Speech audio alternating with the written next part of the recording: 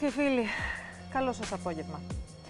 Παγωμένη κοινή γνώμη παρακολουθεί τα όσα συνέβησαν πριν, κατά τη διάρκεια και μετά τη δολοφονία του 35χρονου Παύλου Φίσα.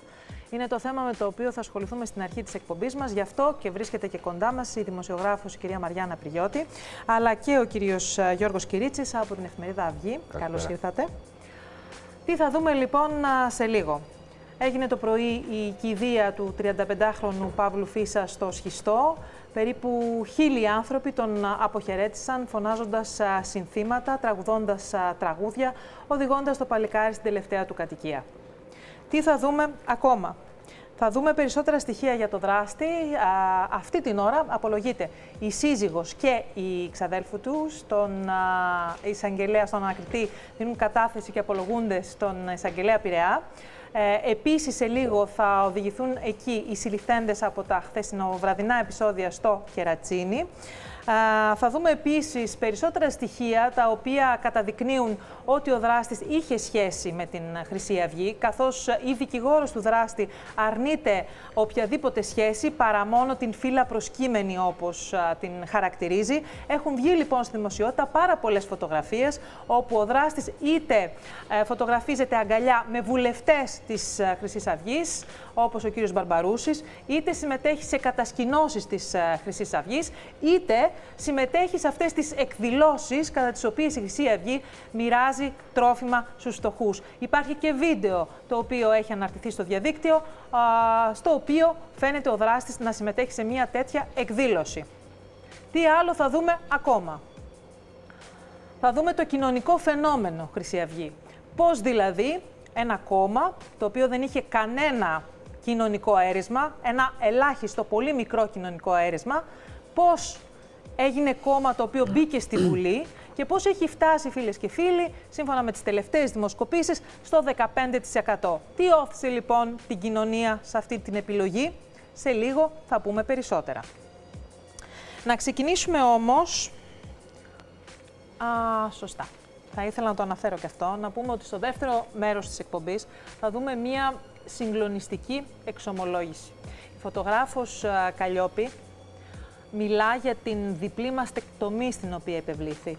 Να πούμε ότι η Καλλιόπη είναι ένα από τα πρόσωπα που είναι τόσο ξεχωριστά και φωτισμένα που ακόμη και την επέμβαση στο στήθος της, γιατί πήρα τη συνέντευξη ακριβώς δύο μέρες πριν μπει στο χειρουργείο για να κάνει αυτή την βαριά επέμβαση. Η διπλή μαστεκτομή είναι βαριά επέμβαση.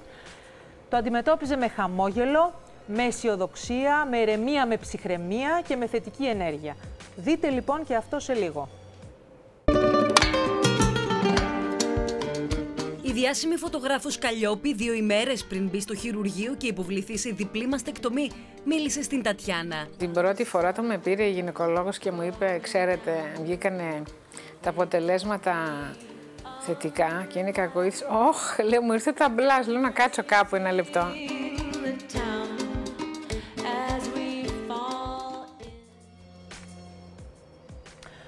Ε, θα δούμε τώρα τη Γιώτα την ε, Κυπουρού, η οποία βρίσκεται στην αίθουσα σύνταξης ε, και παρακολούθησε τα όσα έγιναν σήμερα το πρωί στο Σχιστό, όπου περίπου χίλια άτομα είπαν το τελευταίο αντίο στον Παύλο Φίσα.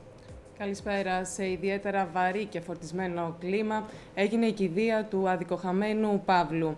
Δεκάδες άνθρωποι, συγγενείς, ε, φίλοι, γείτονες ε, είπαν το τελευταίο αντίο. Το είπαν όμως ε, με χειροκροτήματα και τραγούδια, όπως θα ήθελε και ο ίδιος ο Παύλος. Τραγικές φιγούρες, ο πατέρας και η μητέρα του Παύλου, η οποία Τατιάνα υποβασταζόμενη φώναζε «Είναι άδικο, είναι άδικο». Ιδιαίτερα συγκινητικά ήταν και κάποια μηνύματα που άφηνε. Θέλω να σου πω ότι σύμφωνα με μαρτυρίες, μιας και αναφέρθηκε στη μητέρα του, του Παύλου, την ώρα που το παιδί ξεψυχούσε στην αγκαλιά της φίλης του, το λέω και να τριχιάζω, έλεγε τι θα πει η μητέρα μου και πόσο θα στεναχωρηθεί αν με δει έτσι τραυματισμένο. Για συνέχισε, συγγνώμη που σε διακόψα. Δεν πειράζει. Αυτές οι στιγμές, ειδικότερα για τον πατέρα και τη μητέρα, είναι αν μη τι άλλο τραγικές. Έχασαν έναν άνθρωπο εν μία νυχτή, ε, πολύ γρήγορα, μέσα σε μία νύχτα, χωρίς να το περιμένουν. Ε, το ίδιο σοκαρισμένη ήταν ε, και η φίλη του, η οποία στεκόταν ε, δίπλα στο φέρετρο. Ιδιαίτερα συγκινητικά ήταν, Τατιάνα, και κάποια σημειώματα που άφηνε ο κόσμος ε, καθ' όλη τη διάρκεια της κηδείας, όπως το παρακάτω. Μάρτυρας είσαι του κόσμου αυτού που το σαπίσαμε. Η οικογένεια του θύματος ε, ζήτησε αντί για στεφάνια τα χρήματα να δοθούν ε, στο χαμόγελο του παιδιού. Μια κίνηση συμβολική ε, που δείχνει και το ήθος αυτών των ανθρώπων. Αυτός, αυτός, αυτός θα ήταν ο τίτλος που θα βάζα εγώ στην, στο θέμα που μόλις μας μετέδωσες. Μάρτυρας είσαι του κόσμου αυτού που τον σαπίσαμε. Αυτό είναι ένα από τα μηνύματα. Υπήρχαν πολλά συγκινητικά μηνύματα, ωστόσο σεβαστήκαμε την επιθυμία των γονιών να μείνουν μακριά οι κάμερες. Μάλιστα. Γιώτα, να σε ευχαριστήσουμε πάρα πολύ. Μπορούμε να συνδεθούμε με τα δικαστήρια Πειραιά. Ωραία. Αυτή την ώρα, όπως α, προείπαμε, απολογείται η σύζυγος και η ξαδέλφη του δράστη, αλλά και ένας α, πρόεδρος τοπικής της α, Χρυσής Αυγής, ο οποίος επίσης έχει συλληφθεί. Γιώργο. Ακριβώς, καλό μεσημέρι από τα δικαστήρια Πειραιά. Εδώ, όπως είπες και εσύ, Τατιάνα, πριν από περίπου μία ώρα έφτασαν οι τρεις από τους τέσσερις ε, κατηγορημένους για την υπόθεση της, ε, του θανάτου του γνωστού τραγουδιστή. Ε, ο, ο βασικός κατηγορούμενος, ο κατηγορούμενος για την δολοφονία, ε, ήρθε αργά χθες το βράδυ ε, και πήρε προθεσμία για να απολογηθεί το Σάββατο το πρωί στις 9.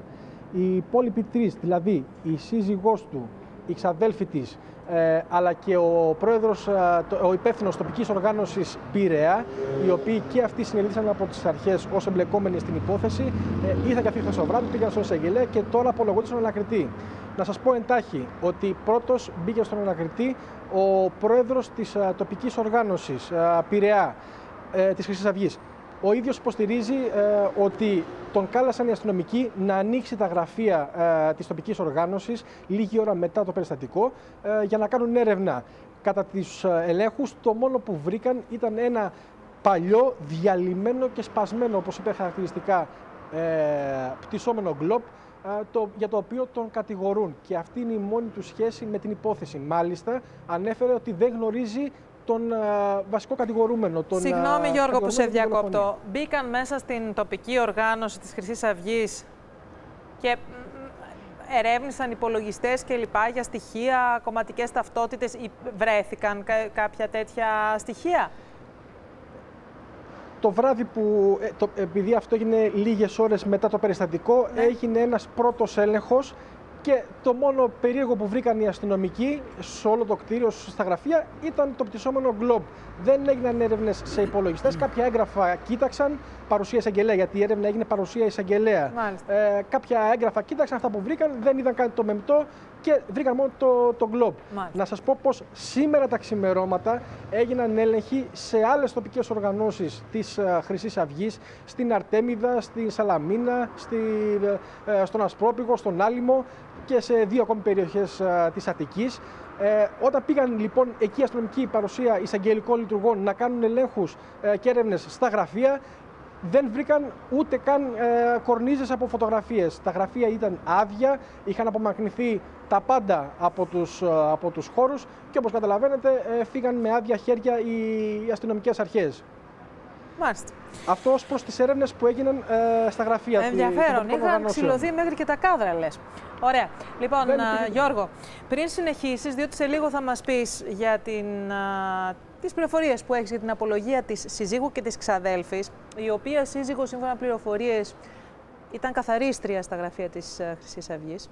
Θα ήθελα στο σημείο αυτό να δούμε ένα προφίλ του δράστη που έχουμε ετοιμάσει, γιος α, μεταναστών από τη Γερμανία.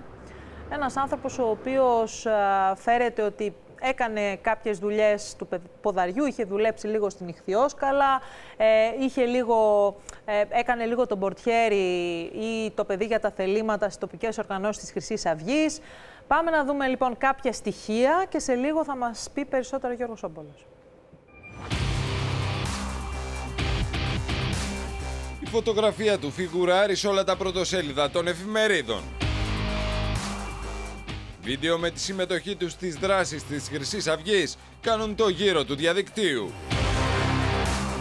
Το λόγος φυσικά για το 45χρονο άνδρα, ο οποίος πρόσκειται στη Χρυσή Αυγή και κατηγορείται για την εμψυχρό δολοφονία του 34χρονου Παύλου Φίσα τα ξημερώματα της Τετάρτης στο Κερατσίνι. Οι γονείς του ήταν μετανάστες στη Γερμανία. Ο 45χρονος μένει σε διαμέρισμα στην περιοχή του Κερατσινίου με την οικογένειά του, τη γυναίκα του και τα δύο τους παιδιά.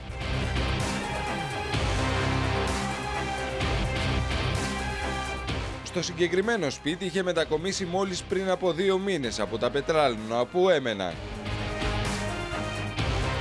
Πληροφορίες μάλιστα θέλουν τη σύζυγο του δράστη να εργάζεται ως ταμεία στην τοπική οργάνωση της Χρυσής Αυγής στην Νίκαια.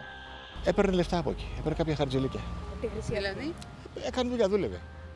Δούλευε και η γυναίκα του μέσα, στο μπαρ μέσα. Το τελευταίο χρονικό διάστημα ο 45χρονος εμφανίζεται να εργαζόταν σαν οδηγός βιντεοφόρους σε εταιρεία πετρελαιοειδών. Μάλιστα, έλειπε συχνά από το σπίτι του. Ένας άνθρωπος τακτικότατος στη δουλειά του με, και μπορεί να αποδείξει με ρωτώντας 50-100 κάθε πέντε πελάτες που έχει στη δικιά του την περιοχή πώς είναι. Δεν έχει αναμειχθεί ποτέ σε φασαρία, δεν έχει αναμειχθεί ποτέ σε, σε αυτέ τι φασαρίες. Άνθρωπος ήσυχο. Στη γειτονιά του καθομολογία δράστη, κάποιοι δεν έκρυψαν την έκπληξή τους για τις αποκαλύψεις σχετικά με τη δράση του. Στην πολυκατοικία όπου έμενε, οι συγκατοικοί του μίλησαν για έναν άνθρωπο χαμηλών τόνων, ο οποίος δεν είχε δώσει το παραμικρό δικαίωμα με τη συμπεριφορά του. Αυτοί όμως που τον γνωρίζουν καλύτερα κάνουν λόγο για έναν άνθρωπο που έβαζε κάτω έναν ολόκληρο λόγο. Μάλιστα το χαρακτηρίζουν βιαστικό και επισημαίνουν ότι φρόντιζε να κρύβει καλά τα πιστεύω του. Τα λόγια του ήταν μετρημένα και πάντα χαμηλών τόνων. Το βίντεο με το 45χρονο άνδρα να βοηθά στη διανομή τροφίμων στην περιοχή της Νίκαιας φορώντας μπλούζα με το λογότυπο της Χρυσής Αυγής στην πλάτη κάνει το γύρο του διαδικτύου.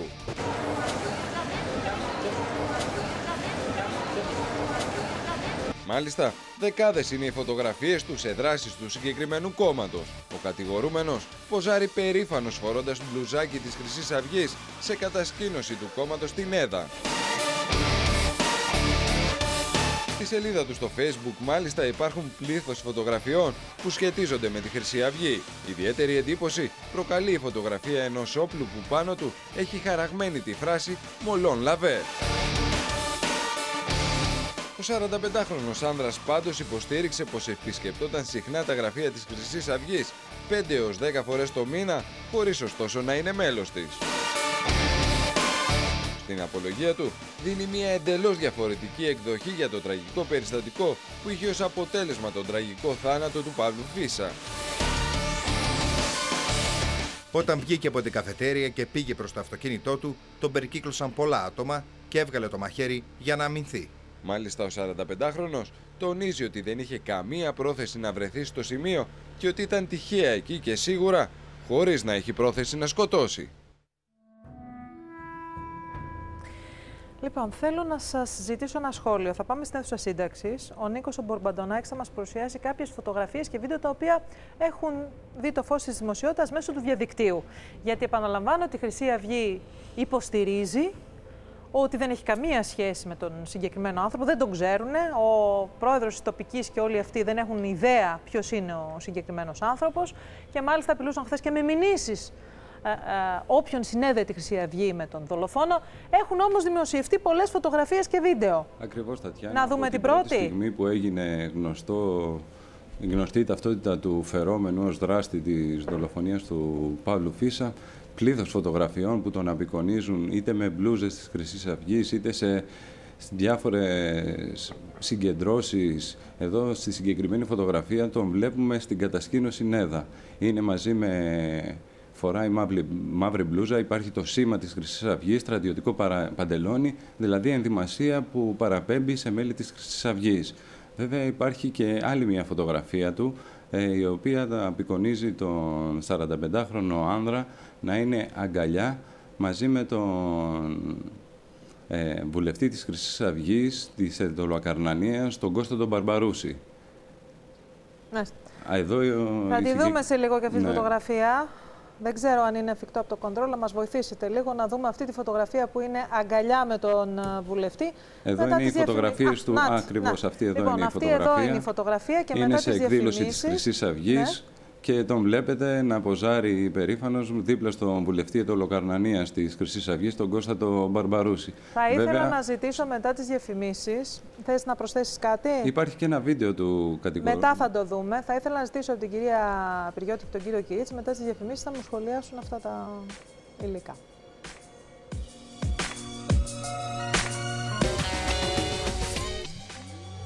Καμία σχέση δεν έχουμε με το δολοφόνο του Παύλου Φίσα, λέει η Χρυσή Αυγή, ενώ την ίδια ώρα φωτογραφίες και βίντεο κυκλοφορούν στο διαδίκτυο. Στη μια φωτογραφία είναι αγκαλιά με βουλευτή της Χρυσής Αυγής, στην άλλη είναι στην κατασκήνωση της Χρυσής Αυγής. Στην τρίτη μοιράζει τρόφιμα με την Χρυσή Αυγή, ενώ πληροφορίες θέλουν τον Χρυσαυγήτη καθομολογία δολοφόνο να πληρώνεται από το κόμμα αυτός και η σύζυγός του, η οποία είναι καθαρίστρια σε τοπική οργάνωση της Χρυσής Αυγής. Να δούμε τη φωτογραφία λοιπόν που ζήτησα πριν τις διαφημίσεις, την κυρία Πυριώτη, στον κύριο Κυρίτσι να σχολιάσουν. Πάμε να δούμε τη φωτογραφία με τον Μπαρμπαρούση παρακαλώ. Κυρία ναι. Πυριώτη. Τι να σχολιάσω τον κύριο Μπαρμπαρούσο, δεν θα τον σχολιάσω. Ε, καταρχήν να πω ότι από χθες ε, έχει παγώσει το πολιτικό σύστημα στην Ελλάδα ανεξαρτήτως πώς έχει εκφράσει αυτό το πάγωμα, είμαι βεβαία ότι σε όλα τα κομματικά επιτελεία, ανεξάρτητα αν προσεγγίζουν το θέμα από τελείως διαφορετικές οπτικές γωνίες ως προς το γιατί ή το διατάφτα, το πάγωμα είναι πάγωμα. Μιλάμε για μια δολοφονία πολιτική. Έτσι. Τι σημαίνει πολιτική δολοφονία, δεν σημαίνει μόνο δολοφονώ για παράδειγμα έναν πολιτικό, σημαίνει ότι, ότι είναι ένα, σε ένα πολιτικό πλαίσιο μία εμψυχρό δολοφονία. Δεν υπήρξε συμπλοκή, δεν υπήρξαν, ε, ε, αν θέλετε, ομάδες, δεν έγινε μάχη, δεν έγινε τίποτα. Κάποιος κάρφωσε στο στήθος ενός παιδιού που έχει την ηλικία του παιδιού μου, έτσι, γι' αυτό έτσι το λέω και το εννοώ, ένα μαχαίρι στην καρδιά κατευθείαν, χωρίς τίποτα, ε, να καταλαβαίνουμε το σκηνικό, το εμψυχρό, και οι λόγοι ήταν πολιτικοί. Γιατί χθες, πουρνό-πουρνό, άκουγα έναν άλλον βουλευτή τη Χρυσής Αυγής, τον κύριο Κασιδιάρη, να λέει ότι ε, εκτός από τα γνωστά καμία σχέση εμείς και θα σας κάνουμε μηνύσεις και θα κάνουμε και θα δείξουμε, η γνωστή τρομοκρατία που επεκτείνεται και σε επίπεδο μη μιλάτε και από πάνω, ε, ότι ε, ήταν για τα ποδοσφαιρικά. Λες και υπήρχε περίπτωση, ας πούμε, στο Ολυμπιακός Σεν Ζερμέν να, να υπάρχουν οι οπαδοί της Σεν Ζερμέν από την, απ τη μία και του Ολυμπιακού Ία από την άλλη και σκοτωθήκανε. Εν πάση περιπτώσει, τα ψέματα τα οποία το ένα ακολούθησε το άλλο, αλλά ευτυχώς το ένα αποκαλύπτεται όπως είδαμε και στα βίντεο και στις φωτογραφίες, ε, για να καλύψει ε, η Χρυσή Αυγή το ότι ε, οπαδοί και παύλα μέλη, διότι εδώ δεν έχουμε ένα κόμμα το οποίο, για παράδειγμα, όπως η Νέα Δημοκρατία, όπως ο ΣΥΡΙΖΑ, όπως το ΠΑΣΟΚ, όπως ε, οι ανεξάρτητοι Έλληνες, έχουν μητρώα στα οποία είναι όλοι, όλα προσβάσιμα και να πεις, ας πούμε, ναι, ήταν ή δεν ήταν. Δεν καταλαβαίνει κανείς τι είναι το μέλος, τι είναι το. Λοιπόν, ένας χρυσαυγίτης λέμε εμείς, διότι φοράνε και τα χαρακτηριστικά μπλουζάκια και έτσι τους ξεχωρίζουν. Δε, ε, αυτοπροβάλλονται, έτσι, είναι στο δόγμα το παραστρατιωτικό. Εγώ είμαι χρυσαυγίτης. Πάει τελείωσε. Με αυτό το χαρακτηριστικό λοιπόν ε, φτάνουμε εδώ που φτάνουμε. Μάλιστα. Δεν έχουμε δηλαδή, κατά τη γνώμη μου, και ναι. συγγνώμη που καταχρώ με τον χρόνο, δεν, έχω, δεν υπάρχει καμία αμφιβολία γι' αυτό. Δεν έχουμε καμία αμφιβολία γι' αυτό. Θέλω να δω και το να δούμε και το βίντεο με την σχολίαση ο κύριος Κυρίτης στο βίντεο. Το βίντεο με την κοινωνική δράση του καθομολογίαν δολοφόνου. Ε, παρέα με τη Χρυσή Αυγή, λοιπόν, μοίραζε τρόφιμα. Μπορούμε να δούμε το βίντεο; Να δούμε τα πλάνα αυτά. Σε Έλληνες τρόφιμα, ε. Μην ναι, μπερδευόμαστε. σε Έλληνες. Έτσι, μόνο σε Έλληνες τρόφιμα. Με ταυτότητα, με ναι. διαβατήριο. Βεβαίως. Και αίμα μόνο σε Έλληνες. Και το αίμα του παιδιού ελληνικό ήταν το οποίο χύθηκε. Αλλά και χωρίς να έχουμε δει. Να, το εδώ είναι το βίντεο. Τον βλέπουμε, φοράει την ε, μπλούζα της χρυσής αυγής ε, και συμμετέχει στην όλη έτσι εκδήλωση. Αυτό λοιπόν που καταλαβαίνουμε είναι ότι στις δράσεις της τοπικής της χρυσής αυγής ο κύριος αυτός συμμετείχε. Η δικηγόρος του λέει ότι είναι φύλλα προσκύμενος. Ωραία. Ε, πρώτα απ' όλα είναι προφανές ότι το διαδίκτυο είναι κάτι από το οποίο δεν μπορείς να κρυφτείς. Κάπου, με κάποιο τρόπο, υπάρχει κάποια φωτογραφία η οποία σε εκθέτει πολλό δε μάλλον αν έχεις μια δράση για την οποία επέρεσε. Ε, εγώ παρότι βρίσκομαι στον απόλυτο αντί, αντίποδα από αυτόν τον άνθρωπο, εντάξει, πάντα όταν ένας άνθρωπος βρίσκεται στα, στα χέρια της δικαιοσύνης, προσπαθεί να υπερασπιστεί τον εαυτό του, στο, στο αξιακό πλαίσιο το δικό μας, ο κατηγορούμενος είναι πάντα κατά κάποιο τρόπο ιερός, μπορεί να πει ό,τι θέλει για να ελαφρύνει τη θέση του, δεν θα περίμενε κανείς κάτι άλλο.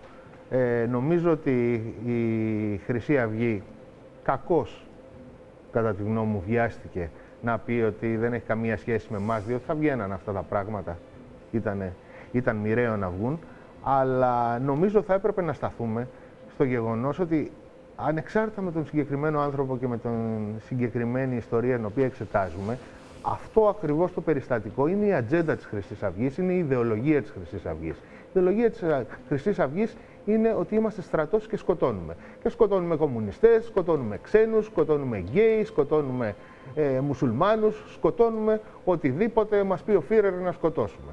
Και γι' αυτό κιόλας ε, επετέλεσε κάποια λειτουργία μέσα στην ελληνική κοινωνία τα τελευταία χρόνια, την οποία, αν θέλετε, έχω μια άποψη, μπορώ να σας την πω τώρα ή στη συνέχεια. Λοιπόν, θα συνδεθούμε πάλι με τα δικαστήρια. Θα ολοκληρώσουμε το ρεπορτάζ από εκεί και τις αστυνομικές έρευνες, αλλά και την απολογία της συζύγου και της καδέλφης. Και μετά έχουμε ετοιμάσει ένα βίντεο για την ιστορία της Χρυσής Αυγής και θα ήθελα να μου σχολιάσετε το κοινωνικό φαινόμενο Χρυσή Αυγή. Γιώργο. Η σύζυγος λοιπόν. Πάντως αυτά που λέγατε... Πες μας δύο λόγια, αυτά διότι που λέγατε προηγουμένως...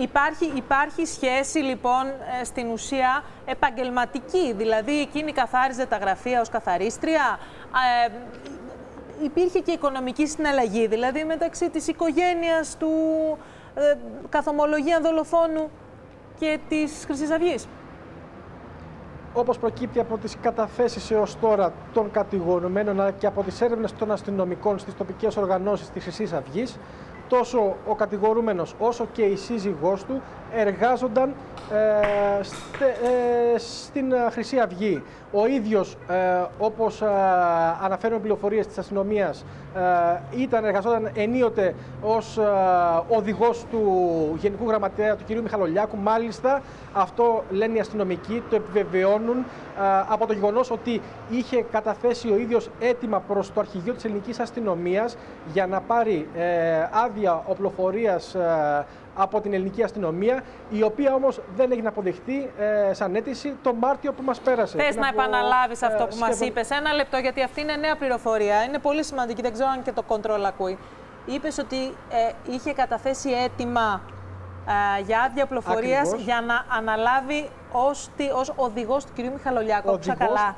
Παύλας συνοδός του κ. Μιχαλολιάκου, ακριβώς. Ε, Άρα, ε, ένα λεπτό, ένα λεπτό. Αυτό είναι πληροφορία από την αστυνομία, διότι εδώ πια δεν είναι ότι είναι απλά κάποιος ο οποίος συμπαθεί τη Χρυσή Αυγή ή είναι μέλος της.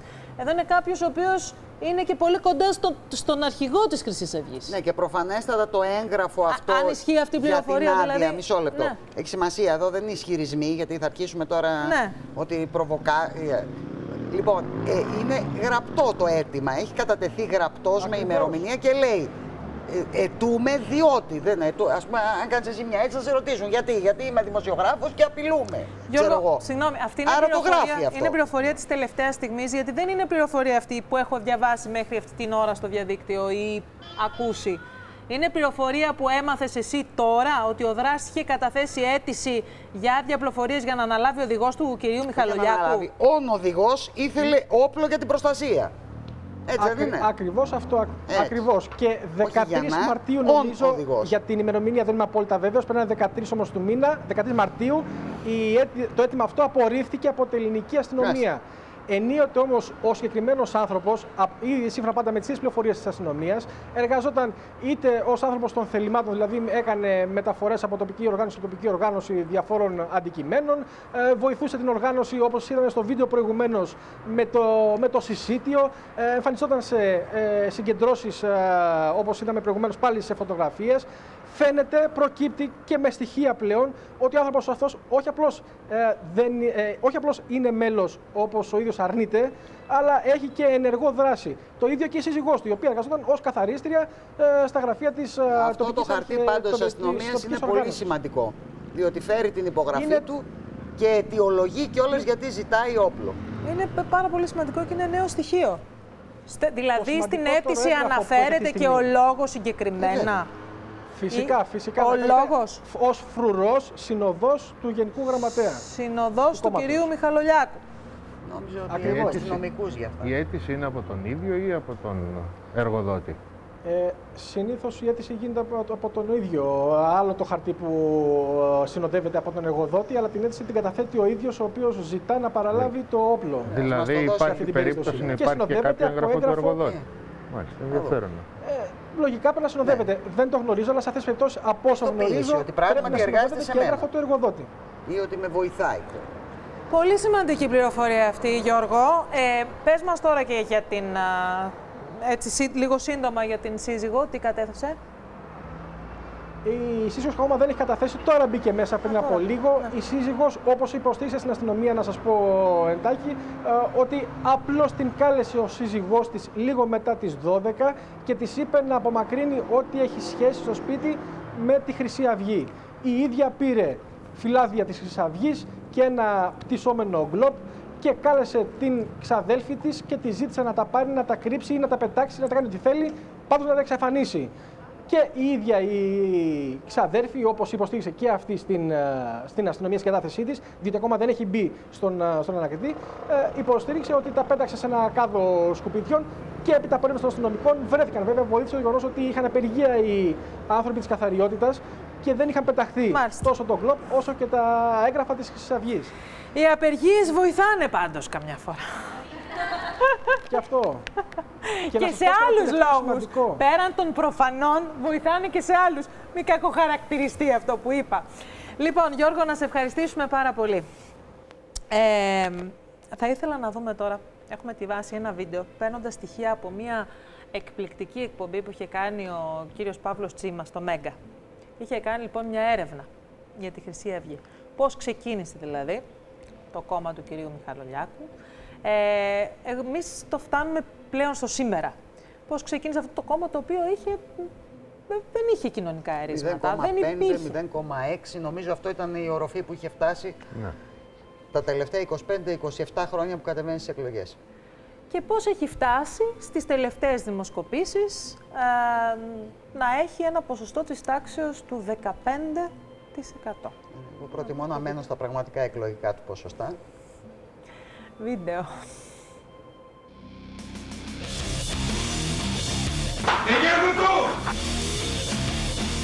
Τι είναι η Χρυσή Αυγή, ένα ερώτημα που απασχολεί πολλούς. Ένα κόμμα κομίτης, ένα ιδεολογικό κίνημα, ένα πολιτικό μόρφωμα που μεταλλάσσεται σαν χαμελέοντας ανάλογα με τη συγκυρία, ένα κόμμα που αυξάνει τα ποσοστά του λόγω της οικονομικής κρίσης, της εξαθλίωσης και των αγανακτισμένων πολιτών που ψηφίζουν από αντίδραση; Πολύ δίπλα στη Χρυσή Αυγή βάζουν τις λέξεις βία, ναζισμός, ρατσισμός.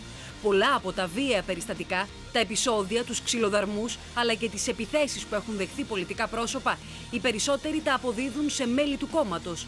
Άλλα γίνονται μπροστά στις τηλεοπτικές κάμερες και άλλα νύχτα, στα στενά δρομάκια του κέντρου της Αθήνας, με πρωταγωνιστές μετανάστες, αλλά και ανθρώπους πολιτικά αντίθετους στα πιστεύω της Χρυσής Αυγής.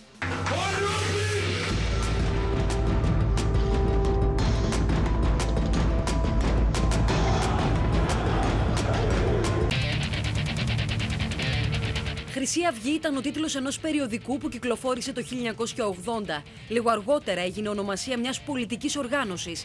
Από το 1994 συμμετέχει σε εκλογές. Μέχρι το 2012 δεν είχε συγκεντρώσει ποτέ πάνω από μισό της εκατό. Μας είπανε ναζί. Μία, δύο, δέκα. Δεν μας είπαν όμως ποτέ κλέφτες. Αυτό το χέρια μπορεί καμιά φορά να χαιρετάνε έτσι. Αλλά είναι καθαρά χέρια. Δεν είναι βρώμικα.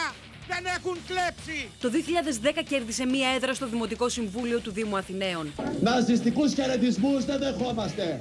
Δεν κατάλαβες τι είναι εδώ. Δεν κατάλαβες τι είναι εδώ. Στις εκλογές του Μαΐου του 2012 αγγίζει τις 450.000 ψήφους και μπαίνει για πρώτη φορά στη Βουλή με ποσοστό 6,9%, όταν στις εκλογές του 2009 είχε συγκεντρώσει 20.000 ψήφους σε όλη τη χώρα. Κανείς δεν θα ξεχάσει όλα όσα έγιναν στη συνέντευξη τύπου του κόμματος μόλις ανακοινώθηκε το εκλογικό αποτέλεσμα. Με τα μέλη της Χρυσής Αυγής να απαιτούν να σηκωθούν όρθιοι οι δημοσιογράφοι όταν ο Γενικός Γραμματέας του κόμματος Νίκος Μιχαλολιάκος θα έμπαινε στην αίθουσα. Όλοι όρθιοι! Όρθιοι! Όρθιοι, όρθιοι, όρθιοι! Οι τελευταίες δημοσκοπήσεις δείχνουν τη Χρυσή Αυγή τρίτο κόμμα, με ποσοστά διψήφια που φτάνουν ακόμη και το 15%. Την ψήφισαν άνθρωποι οι οποίοι δεν αναζητούσαν μια θετική πρόταση για τη διακυβέρνηση, δηλαδή δεν έψαχναν να βρουν ποιος θα μας κυβερνήσει, αλλά ψήφισαν με, με γνώμονα την ισχυρή αντιπολίτευση. Under 5% of the people who voted Λιγότερο από το 5% αυτών που ψήφισαν Χρυσή Αυγή δηλώνουν ότι πραγματικά συμφωνούν με την ιδεολογία της Χρυσής Αυγής. Το 95% είναι άνθρωποι απελπισμένοι η πρώτη φορά που συγκέντρωσε τα φώτα της δημοσιότητας πάνω της ήταν το 1998, με αφορμή ένα περιστατικό βίας στην πλατεία της Ευελπίδων.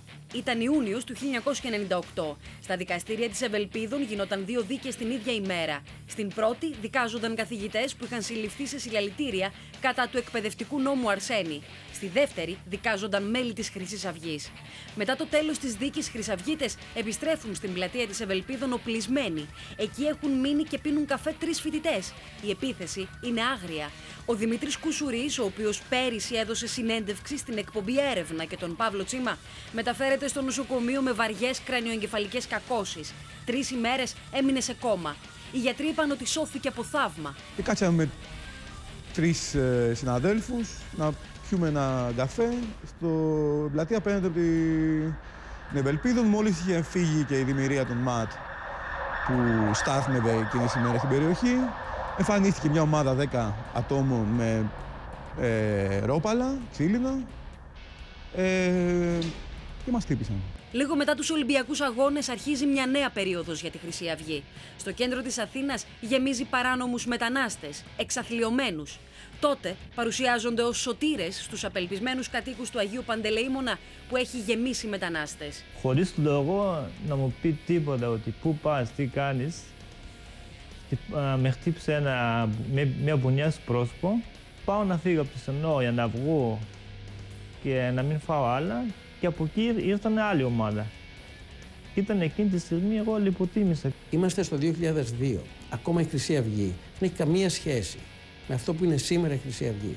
Είναι μια πολύ μικρή ομάδα, ε, δεν κρύβει το ναζιστικό της χαρακτήρα, δεν κρύβει τίποτα από όλα αυτά και λέει και το στόχο της. Ότι ο στόχος δικός μας είναι η αριστερή. Τότε δεν ήταν ο στόχος ή ο βασικός στόχος της Χρυσής Αυγής μετανάστες, έτσι όπως γίνανε μετά. Τα επεισόδια πληθαίνουν όλο και περισσότερο στο κέντρο της Αθήνας, με τους μετανάστες να φοβούνται να κυκλοφορήσουν, να κλειδώνονται στα σπίτια τους και να κοιτάζουν με τρόμο κρυφά από τα παράθυρά τους. Είπα αμέσως στους άλλους: Παιδιά, η κατάσταση δεν είναι καθόλου καλή. Να μείνουμε μέσα και να κλειδώσουμε τις πόρτες. Τέσσερα από τα άτομα που ήταν μαζί μου μέσα δοκίμασαν να φύγουν. Όμως η κατάσταση ήταν τρομακτική. Τους πρόξανε με πολύ δύναμη. Ήταν αδύνατο να βγεις έξω. Τρει-τέσσερι από αυτούς που φώναζαν και χτύπαγαν φορούσαν μπλούζες της Χρυσής Αυγής.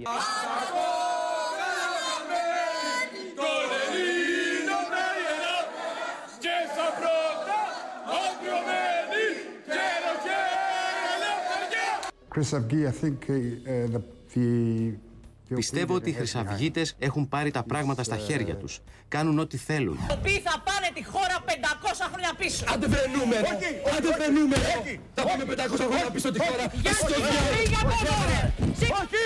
Όχι! Όχι! Όχι! Όχι! Όχι! Όχι! Όχι. Το χαστούκι του βουλευτή της Χρυσής Αυγής, Ηλία Κασιδιάρη, στη Λιάννα Κανέλη, κατά τη διάρκεια πρωινής εκπομπής, έκανε το γύρο του κόσμου. Όλοι καταδίκασαν την επίθεσή τους στη βουλευτή του ΚΚΕ, αλλά και το μπουγέλωμα στη Ρένα Δούρου.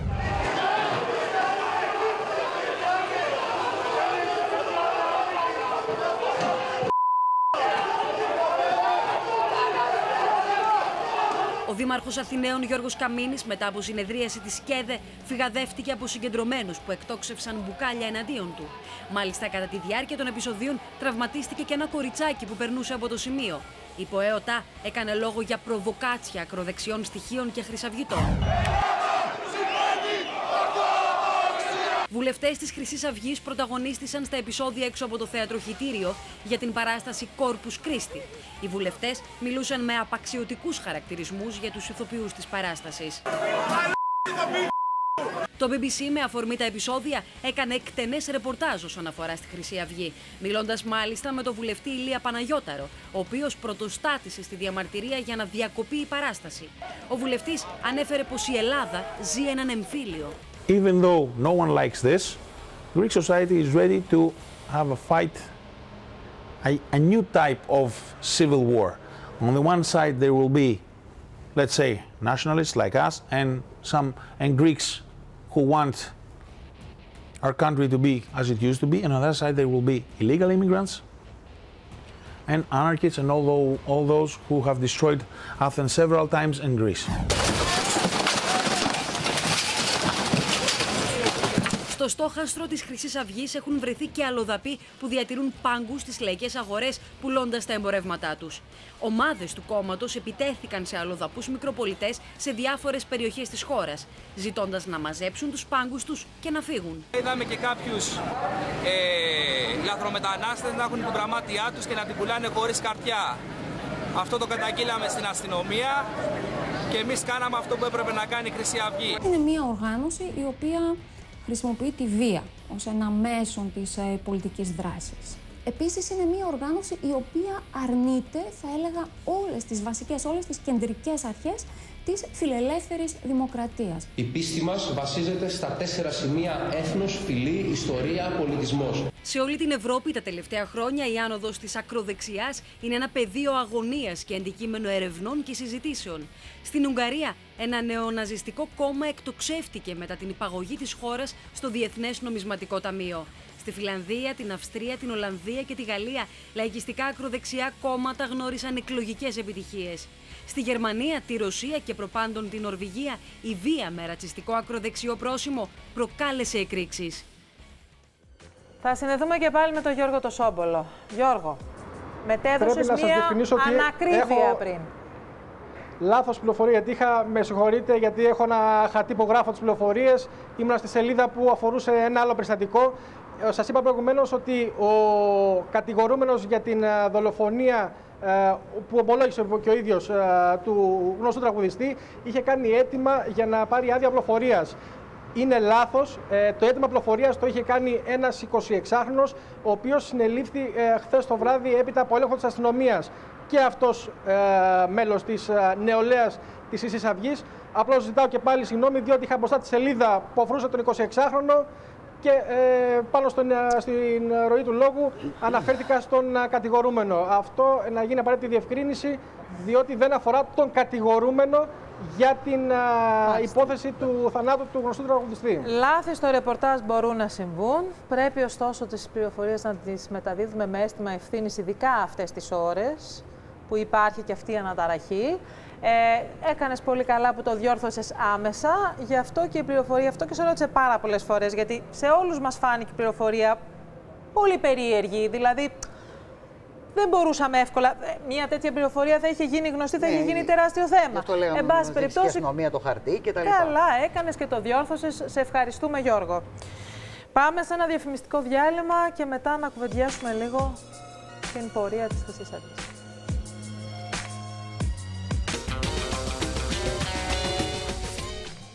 Λοιπόν, πάμε να ακούσουμε τα σχόλιά σας για το κοινωνικό φαινόμενο Χρυσή Αυγή, το οποίο έγινε ένα κόμμα που όχι μόνο μπήκε στη Βουλή, αλλά αυξάνει τη δύναμή του. Κυρία Πυριώτη. Ε, Χθες στο Ινστιτούτο Δημοκρατίας είχε μία εκδήλωση για το, τις γερμανικές εκλογές. Ήταν ο κύριος Παπαδημούλης, ο κύριος Τηλιανίδης και συ, ε, βεβαίως λόγω των γεγονότων συζητήσαμε ενώπιον κοινού και το συγκεκριμένο θέμα. Και βγάλαμε ένα χαρτί σε πολύ καλό κλίμα, αυτό θέλω να το τονίσω έτσι γιατί υπάρχει πάρα πολύ. Ο διάλογος, ο πολιτικός πρέπει να γίνεται στο επίπεδο που έγινε χθες για παράδειγμα. Ε, είχαμε λοιπόν τα ποσοστά του κόμματος του εθνικοσοσιαλιστικού του Αδόλφου Χίτλερ. Το 1928 είχε 2,6% και όταν ανέλαβε την εξουσία, διότι εψηφίστη το κόμμα αυτό, έτσι, δεν ήρθε ουρανοκατέβατο, δεν ήταν δικτατορία του Χίτλερ, ψηφίστηκε και μετά εξελίχθηκαν τα πράγματα. είχε φτάσει στο 43,4%. Το 33%. Θέλω λοιπόν να πω ότι υπό συνθήκες που εκεί να κάτσουμε και να συζητήσουμε πολύ ανοιχτά όλα τα κόμματα και όλες οι παρατάξεις και οι ιδεολογικές πλευρές πλην τον νεοναζί, πλην τον νεοναζί, τα αίτια και να, εισ- να εισφέρει ο καθένας με το δικό του κομμάτι. Δεν είναι, δηλαδή θέλω να πω ότι εκεί να κάτσουμε και να συζητήσουμε γιατί ένα κόμμα το 0,6% έφτασε στο 7% και πιθανό να έχει δυναμική, θα το δούμε στις επόμενες δημοσκοπήσεις και να το δούμε και το, ο κάθε χώρος να αναλάβει το δικό του κομμάτι ευθύνης ή ο κάθε χώρος να εισφέρει στο, στο να υψώσουμε όλοι μαζί κοινωνικά και πολιτικά ένα τείχος όπως έχουν υψώσει άλλες κοινωνίες. Αυτό εγώ το κρίνω απαραίτητο και νομίζω ότι κανένας άνθρωπος δεν μπορεί να πει ότι εάν δεν όλοι μαζί βρούμε τις αιτίες. Δηλαδή δεν γίνεται κατά μόνας να λέει κάποιος «Α, ξέρετε, Ναι. φταίνε ότι οι αριστεροί χαϊδεύαν τους ρατσιστές και επειδή οι αριστεροί χα- χαϊδεύαν ε, τους μετανάστες και επειδή οι αριστεροί προστατεύαν τους μετανάστες, τους παράνομους και έχουν τέτοιου είδους ιδιοτροπίες κτλ. Φου, φούντωσε η Χρυσή Αυγή και να απαντάνε η άλλη αστυνομία που δεν ε, φύλαξε ποτέ τα σύνορά μας. Επίσης ε, σωστή αιτία ή κατά τη γνώμη μου είναι. Δηλαδή για μένα αυτό το φαινόμενο, η οικονομική κρίση, ίσως πρώτο και βασικότερο και παράλληλα μια σειρά από εξαιρετικά σημαντικά θέματα που αγγίζουν την κοινωνία. Ό,τι θέλετε βάλτε μέσα. Είναι ένας πολύ παραγωγικός, ε, ε, ένα πολύ παραγωγικό δοχείο από το οποίο η Χρυσή Αυγή κάθε φορά, πολύ έξυπνα οφείλω να το πω αυτό, διαλέγει την, α- από την ατζέντα της, την ε, Μάλιστα. εθνικοσοσιαλιστική, αυτό που τη συμφέρει. Πριν αρχικά τη συνέφεραν ή νόμιζε ότι τη συμφέρουν οι κομμουνιστές. Μας τελείωσαν οι κομμουνιστές και μετά τα μεγάλα γράδα μας τα πήραμε με το ρατσισμό. Ο ρατσισμός που δημιουργήθηκε από την, από την φοβία των γκέτο που δημιουργήθηκαν στην Αθήνα. Αλλά αμέσως μετά, και εγώ πρέπει να το τονίσω αυτό, η οικονομική κρίση, διότι είδατε αμέσως τα, τα μοιράζουν τρόφιμα στους Έλληνες κλπ. Η οικονομική κρίση, η φτωχοποίηση της ελληνικής κοινωνίας, η, τα τέσσερα χρόνια της συνεχούς μείωσης του βιωτικού μας επίπεδου, τον, τη, τη ανεργία του, εν- των 1,5 εκατομμυρίων, της έδωσε άλλη ατζέντα, με την οποία τώρα πορεύεται. Παράλληλα με τα ρατσιστικά της. Κύριε Κυρίτσι.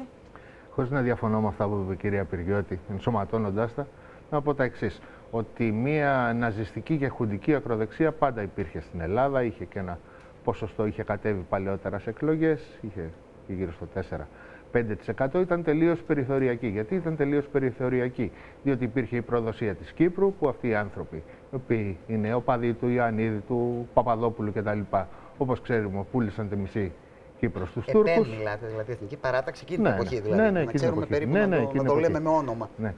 Ε, και επίσης ήταν τελείως περιθωριακοί, γι' αυτό βλέπετε κιόλας τώρα που, που βγαίνουν και δεν ξέρουν τι να κάνουν, γιατί ο μεν κύριος Κασιδιάρης έχει εδώ μια τεράστια σβάστηκα, ο άλλος έχει ρητό του Χίτλερ στον μπράτσο, σε μια χώρα που έχει τα Καλάβρητα, το Δίστομο, τη Βιάνο, το, τα Γιάννητσά, χιλιάδες ολοκαυτώματα, ήταν τελείως περιθωριακοί. Πώς απέκτησαν ατζέντα; Με την ε, οικονομική κρίση η ελληνική κοινωνία βρέθηκε σε ένα σημείο ανισορροπίας. Και εκεί παίχτηκε ένα θέμα, εναντίον τίνος θα στραφεί. Η, η Χρυσή Αυγή και σε αυτό νομίζω ότι βοήθησαν και βοήθησε ένα κομμάτι των ΜΜΕ, έφτιαξε μία ατζέντα η οποία έλεγε ποιος σου φταίει που φτωχοποιήθηκες, δεν σου φταίει το πολιτικό σύστημα, τα κόμματα που κυβέρνησαν, οι τράπεζες, ξέρω εγώ. Ποιος σου φταίει, σου φταίνει ξένοι. Άρα, να πάμε να την πέσουμε στο ξένο, ο οποίος είναι ανυπεράσπιστος. Ξέρουμε ότι η αστυνομία θα κάνει και τα στραβά μάτια και θα βγάλουμε το άχτη μας. Δηλαδή, είναι μια επίκληση των πιο ταπεινών ενστίκτων. Δεν το είχε και πιο πριν από την κρίση, ειδικά το ρατσιστικό. Ναι, όχι, Ναι, το είχε, θα δεν σας το πω είχε με γιατί. αυτόν τον τρόπο. Όταν, όταν Το μπήκε είχε, στη πολύ Βουλή, έντονο. δεν είχε πάρει κανείς χαμπάρι Absolutely. τι να είχε. Το Δεν είχε το υπήρχε. ρατσιστικό Δηλαδή έντονο, το, το είχε δούλευαν, έντονο. το δούλευαν αλλιώς. στις καλές Στο κέντρο εποχές της εννοώ. Αθήνας, ε, με τους ε, μετανάστες. Το φόβο. Όταν μπήκε στη Βουλή, τα μέσα μαζικής ενημέρωσης δεν είχαν πάρει χαμπάρι. Τι είναι Ε, η καλά, Χρυσή μην το Αυγή και ότι παίζουμε θα και μωρές έμπαινε. παρθένες. Αφού μπήκε, αρχίζει ο Μην το ρόλος των παίζουμε και μέσων μωρές στην προβολή παρθένες. του. Ας Αφού θυμηθούμε τις μπήκε. δημοτικές εκλογές τώρα του 2009, τέλος πάντων. Μάλιστα. Τώρα, εκεί έγινε άλλο ένα πράγμα, το οποίο είναι ένα τεράστιο λάθος το οποίο έκανε η Νέα Δημοκρατία. Η Νέα Δημοκρατία πήγε επίσης να παίξει ως ένα βαθμό με αυτή την ατζέντα, λέγοντας ότι να, αυτή είναι το κακό το άκρο, άρα ο Αντώνης είναι στη μέση και τα λοιπά, ότι υπάρχουν και χειρότερα, αλλά δυστυχώς αυτή την ιστορία ήταν η άλλη η original. Και αυτό έχει σαν αποτέλεσμα τα διάφορα πράγματα τα οποία έλεγε ο Σαμαράς να καταλάβουμε τις πόλεις μας που ήταν πολιτικολογίες, αερολογίες. Οι άλλοι πήγαιναν στρατός Μάλιστα. εκεί με. Δεν θα ήθελα με- να το με πολιτικοποιήσουμε παλούκια τόσο και- το θέμα. Ε, Είναι Θα καθαρά ήθελα- πολιτικό. Κοιτάξτε. Ήταν λαός αυτή. Ναι, εγώ θα ήθελα το Ε, απλώς εξής. να, να πω, γιατί ε, εγώ επιμένω ό,τι και να ακουστεί, Ναι. όπως και να ακουστεί, εγώ επιμένω προσωπικά στο ότι τα κόμματα του Ελληνικού Κοινοβουλίου και όλες οι δυνάμεις οι οποίες είναι ε, πλην της χρυσής Αυγής, επιμένω σε αυτό, Ναι. οι οποίες κινούνται μέσα στο δημοκρατικό πλαίσιο, θα πρέπει να βρούμε τρόπο να βάλουμε στην άκρη αυτά που πιθανόν μας χωρίζουν ή μας διεγείρουν και να βρούμε αυτά τα οποία μπορούν να εισφέρουν αθροιζόμενα. Γιατί εγώ επιμένω ότι είναι πολύ παραγωγικό. Λέω λοιπόν ότι η ατζέντα ήταν η ατζέντα του τότε λαός. Επιτρέψτε να μου πω ότι ο Σωστά. φιλελεύθερος χώρος, Ναι. τον οποίο εγώ εκπροσωπώ Σωστό, ως αυτός είναι ο φιλελεύθερος χώρος. άνθρωπος από την Λοιπόν, αρχή ε, της πρέπει ζωής να μου, της ολοκληρώσουμε. πολιτικής. Θα σας πω ποιο είναι το θέμα μου. Δεν Η πιστεύεις σε τέτοιες συνέντευξη ατζέντες. της ε, Καλλιόπης είναι μαγνητοσκοπημένη. Είναι βίντεο. Άρα δεν μπορώ να ελέγξω το χρόνο. Πρέπει εδώ να βάλουμε μια τελεία σε αυτό το θέμα, ώστε να μπορέσω να ε, προβάλλω και τη συνέντευξη η οποία ε, έχει πολύ συγκεκριμένο χρόνο. Σας ευχαριστώ πάρα πολύ Να είστε καλά. Να είστε καλά. για την παρουσία σας και την βοήθειά σας, έτσι, την πολύτιμη πάντα στην παρουσίαση της εκπομπής. Θα σας δώσω τα τηλέφωνα του διαγωνισμού για να αλλάξουμε θέμα. Άλλος ένας διαγωνισμός Express. Και γιατί λέω διαγωνισμός Express, γιατί πάντα όταν έχουμε έτσι, ε, θέματα έτσι πιο κοινωνικά, σαν και αυτό που παρουσιάσαμε ε, από την αρχή της εκπομπής, συνήθως δεν κάνουμε διαγωνισμούς. Ο διαγωνισμός λοιπόν δεν είναι αυτός ο διαγωνισμός τυχερός. Έχει να κάνει με την δική σας ικανότητα. Σε τι; Σε κάτι πάρα πολύ απλό. Πρέπει να είστε πάρα πολύ γρήγοροι. Και ο πιο γρήγορος κερδίζει. Θα σας δώσω τα τηλέφωνα του διαγωνισμού και θα σας πω το δώρο που θα κερδίσετε, το οποίο ε, είναι στημένο εδώ στην άλλη πλευρά του στούντιο και οφείλω να ομολογήσω ότι είναι όχι απλά εντυπωσιακό, αλλά πολύ ζηλευτό. 901-600-4545. Όταν θα πάρετε τηλέφωνο, θα ακούσετε ένα μήνυμα, ένα ηχητικό μήνυμα. Θα ακούσετε έναν α, αριθμό μονοψήφιο μέχρι το 9, τον οποίο πρέπει να πληκτρολογήσετε. Αν πάρετε από το κινητό, μια συμβουλή, να φοράτε ακουστικά για να είναι ελεύθερα τα χέρια σας, να πατήσετε γρήγορα τον αριθμό που θα ακούσετε. 901-600-4545. Αν πάρετε από το, από το από σταθερό, πιο εύκολο. 901-645-45. Τι θα κερδίσετε τώρα; Τι θα κερδίσετε; Έχουμε ένα τραπέζι πολύ εντυπωσιακό, στρωμένο από το Παπαδάτος Home Stores. Είναι αυτό που βλέπετε στην οθόνη σας. Είναι ένα σερβίτσιο 12 ατόμων. Εκτός από το πιάτο του φαγητού και το πιάτο της α, σούπας, έχει και τις πιατέλες σερβιρίσματος, έχει και τα πιάτα α, φλιτζάνια του καφέ και του τσαγιού, έχει και τα μαχαιροπύρουνα, είναι όλα στα χρώματα του φθινοπόρου για να κάνουμε μια έτσι καλή, ζεστή, όμορφη αρχή για το φθινόπωρο και τα ποτήρια τα οποία είναι στο ίδιο χρώμα. Όλα αυτά που βλέπετε θα περάσουν στα χέρια αυτού που θα είναι ο πιο γρήγορος.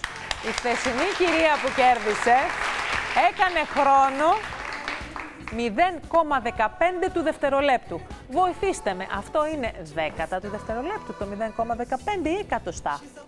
Δέκατα. 0,15 του... 15 δέκατα του δευτερολέπτου, λοιπόν, έκανε η χθεσινή κυρία. Εσείς... 901-645-45. Τώρα, μία κατάθεση ψυχής από την παγκοσμίου φήμης φωτογράφο Καλλιόπη.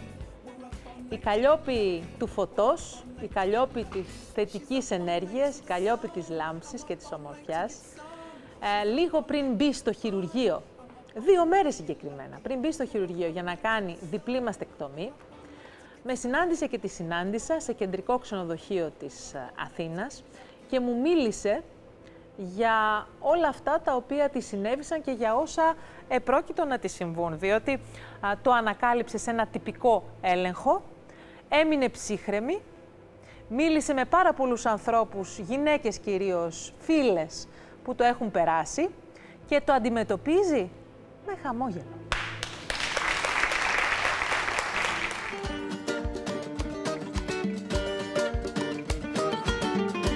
Και είμαστε εδώ. Ε, δύο μέρες πριν μπει στο νοσοκομείο. Ωστόσο, θέλω να σου πω ότι ούτε στην ψυχολογία σου, ούτε στη χαρά που βγάζεις πάντα ως άνθρωπος, ούτε στη θετική ενέργεια, ούτε στο χαμόγελο, ούτε σε τίποτα, δεν αισθάνομαι ότι έχω απέναντί μου έναν άνθρωπο που ετοιμάζεται να κάνει ένα χειρουργείο δύο μέρες μετά. Ναι, το συνήθισα. Όχι, να σου πω ότι την πρώτη φορά το με πήρε η γυναικολόγος και μου είπε, ξέρετε, βγήκανε τα αποτελέσματα θετικά και είναι κακοήθηση. Όχ, λέω, μου ήρθε τα μπλάς, λέω να κάτσω κάπου ένα λεπτό. Περίμενε ένα λεπτό. Εσύ έκανες τη συνηθισμένη σου εξέταση, εξέταση ρουτίνας, Ναι. στη μαστογραφία Ναι, σου. ναι, ναι. Που την κάνουμε όλες οι γυναίκες Ναι. ή κάθε χρόνο ή κάθε δύο χρόνια. Ε, είχες υποψιαστεί ότι υπάρχει κάποιο θέμα, Όχι, κάποιο πρόβλημα ή... Καθόλου. Ποτέ στη ζωή μου δεν έχω αρρωστήσει, δόξα τω Θεώ, σε τίποτα και πάντα νόμιζα ότι θα είμαι έτσι. Και όταν μου είπε ο γιατρός μου, ξέρετε, έχουμε βρει κάτι καρκινικά κύτταρο στον αριστερό μας, το λέω, Ωχ, να κάτσω τα ένα είδε λεπτό να συνέλθω. κατευθείαν στη μαστογραφία. ή- Κάνανε βιοψία, ε, ε, μαστογραφία και μετά. Ή- Είδε κάτι στη μαστογραφία, αλλά Ναι, δεν ναι, ήξερε ναι. τι είναι αυτό. Ο ήξερε, κατάλαβε τι είναι. Α, το είδε από τη Και μαστογραφία. για να βεβαιωθείς, μετά κάνεις βιοψία. Μπήκα Ναι. στο νοσοκομείο, κάναμε βιοψία. Όταν λοιπόν σε πήρε και σου είπε ότι ξέρεις, Ναι, αυτό. εδώ υπά- Και εδώ αυτό. υπάρχει θέμα. Ναι. Όχ, μου ήρθε τα μπλάζ, λέω καλά. Για ποιο μιλάνε, για μένα ή για κάποια άλλη. Ναι. τα χάσα λίγο. Και μου λέει, ξέρετε, λέει, μεθαύριο πρέπει να μπούμε χειρουργείο να το κάνουμε. Αυτό τώρα εδώ και 1,5 μήνα. Λέω, οκ. Μετά το σκέφτομαι, την παίρνω το βράδυ, 11 η ώρα, της λέω, την προηγούμενη δηλαδή, λέω, αποκλείεται. Αύριο, ακυρώστε το, δεν είμαι έτοιμη, δεν μπορώ. Πόσο καιρό έχω ακόμα, μου λέει, εντάξει, μου λέει ένα μήνα μπορείτε να περιμένετε. Λέω, οκ, δώστε με ένα μήνα να συνέλθω, να το χωνέψω και μετά είμαι στη διάθεσή σας, οπότε έτσι και έκανα. Τώρα είμαι πλήρως ε, εξοικειωμένη με αυτή την ιδέα, είμαι πανέτοιμη, αλλά το χρειάστηκε αυτό το χρόνο, δεν μπορούσα ξαφνικά, άντε, έλα, τρέχα, κάνε. Μου έπεσε λίγο βαρύ. Τώρα είμαι πολύ άνετη. Δηλαδή, από την ημέρα που πήρες τις εξετάσεις, σου είπε έλα μεθαύριο να Ναι, το ναι. χειρουργήσουμε. Το πρωτόκολλο έτσι είναι, μέσα σε 10 μέρες το πολύ πρέπει να γίνει. Τι είναι αυτό που σε έκανε να πεις ότι εγώ θέλω ένα χρόνο, ένα εύλογο χρονικό διάστημα να το σκεφτώ. Γιατί υπάρχουν και άλλοι που λένε Ναι. θέλω αν γίνεται χθες να μου το Ναι. κάνετε να τελειώνω, να φερθεί, να μην υπάρχει τίποτα, να, να, Ναι. να ηρεμήσω. Εσύ σκέφτηκες αλλιώς. Μμ. Κάθε άνθρωπος είναι διαφορετικός. Ναι, Πρώτον είπα δεν είμαι έτοιμη ψυχολογικά. Δεύτερον είπα ότι θα το ψάξω να δω τι άλλες πιθανότητες έχω. Δηλαδή τα κοίταξα από όλες τις πλευρές. Και μετά αποφάσισα τελικά, όλοι μου λέγανε και οι γιατρός μου, κάντε να τελειώνει, είναι το καλύτερο πράγμα. Και όντως είχαν δίκιο. Αλλά το ψάξα ε, για να είμαι κι εγώ σίγουρη με τη συνείδησή μου ότι έκανα το, ότι ό,τι μπορούσα, ό,τι περνούσε από το χέρι μου. Το έψαξα λίγο, προετοιμάστηκα και μετά είπα: Οκ. Στην αρχή μου φάνηκε λίγο βαρύ. Λέω: Καλά, έτσι. Χαράτσι, χρούτσι, κόβουμε, κάνουμε, ράβουμε ένα λεπτό. να συνέλθω. Είναι περισσότερο το γυναικείο κομμάτι που αντέδρασε μέσα σου. Αυτό είναι που σε σοκάρισε περισσότερο ή αντέδρασε ο φόβος γενικότερα για τους γιατρούς και τα χειρουργεία; Δεν φοβάμαι. Τι είναι αυτό Δεν είμαι που... φοβητσιάρα. Είναι- Το πρώτο που είπες. Ναι. Νομίζω το γυναικείο κομμάτι. Ότι νιώθουμε ότι είναι ένας ακροτηριασμός, Ναι, δηλαδή ακριβώς, φεύγει ένα ακριβώς. κομμάτι της θηλυκότητάς Ε, μας. ναι, λες τι Εκεί. γίνεται εδώ, θα χάσει το στήθος μου. Πω, πω. Ναι, αυτό που είπες Το ακριβώς. πρώτο πράγμα που σκέφτεσαι ποιο ήταν, ο άντρας σου, τα παιδιά σου, Όλα. Όλα τα σκέφτηκα. πρώτο. Όλα μου έπεσε λίγο βαρύ. Λέω. Για όλους. Δεν είναι ωραία τώρα. Δεν είχα και ιδέα από τέτοια. Δεν ήξερα τι είναι η ανάπλαση μετά. ε, Ότι μπορεί να στο αποκαταστήσουν αμέσως. Δεν είχα ιδέα. Κανείς δεν μου τα είχε πει. Δεν, δεν ήξερα. Άσε που ανακάλυψα ότι πάρα πολλές γυναίκες που ξέρω το έχουν κάνει. Μετά το κατάλαβα. Αλλά όταν δεν τα ξέρεις όλα αυτά, φαντάζεσαι το χειρότερο. Φαντάζεσαι άσχημα πράγματα, ακροτηριασμούς. Λες, Όχι, Παναγία μου, πώς θα εμφανιστώ έτσι. Καταλαβες, Ναι. Και στον άντρα και σε παιδιά και σε φίλους και σε μένα την ίδια. Τι είναι αυτό τώρα; Αλλά όταν άρχισα να πληροφορούμαι για όλα αυτά, γιατί αυτό έκανα βασικά, και να μαθαίνω τι συμβαίνει, μετά εξοικειώθηκα, ηρέμησα και είπα: Οκ. Σε ποιον άνθρωπο, ποιος ήταν ο πρώτο που το έμαθε; Ε, ο άντρας μου. Ναι, ε, πάντα. Όχι, γιατί είναι πάντα δίπλα μου. Πρέπει να πω και μου παραστάθηκε πάρα πολύ και ασχολήθηκε αυτός με τους γιατρούς και τα λοιπά. Εγώ δεν, δεν είχα όρεξη να μιλάω πολύ. Και έκανε όλος, τα, όλα τα πρακτικά τα έκανε αυτός. Είναι πολύ καλός αυτά. Το δεύτερο πράγμα που έκανες ήταν τι, να αρχίσεις να γκουγκλάρεις το... Ναι, όλα την αυτά. πάθηση να δεις Φυσικά. τι γίνεται. Γιατί πια το Βεβαίως. πρώτο πράγμα που κάνουμε Ναι, όταν... ναι, ναι, ναι, ναι. Ακριβώς Έτσι δεν αυτό. είναι; Ναι, πληροφορίες, να μάθω, να ενημερωθώ, να ξέρω τι γίνεται. Γιατί δεν είχα ιδέα από τέτοια, ούτε μου είχε τύχει ποτέ στη ζωή μου κάποιος. Δεν είχα ιδέα. Τέλος πάντων, κατάλαβα ότι πάρα πολλές γυναίκες ε, αντιμετωπίζουν το ίδιο πρόβλημα. Πάρα πολλές. Και γι' αυτό σκέφτηκα ότι θα είναι καλή ιδέα να το πω και δημόσια αυτό.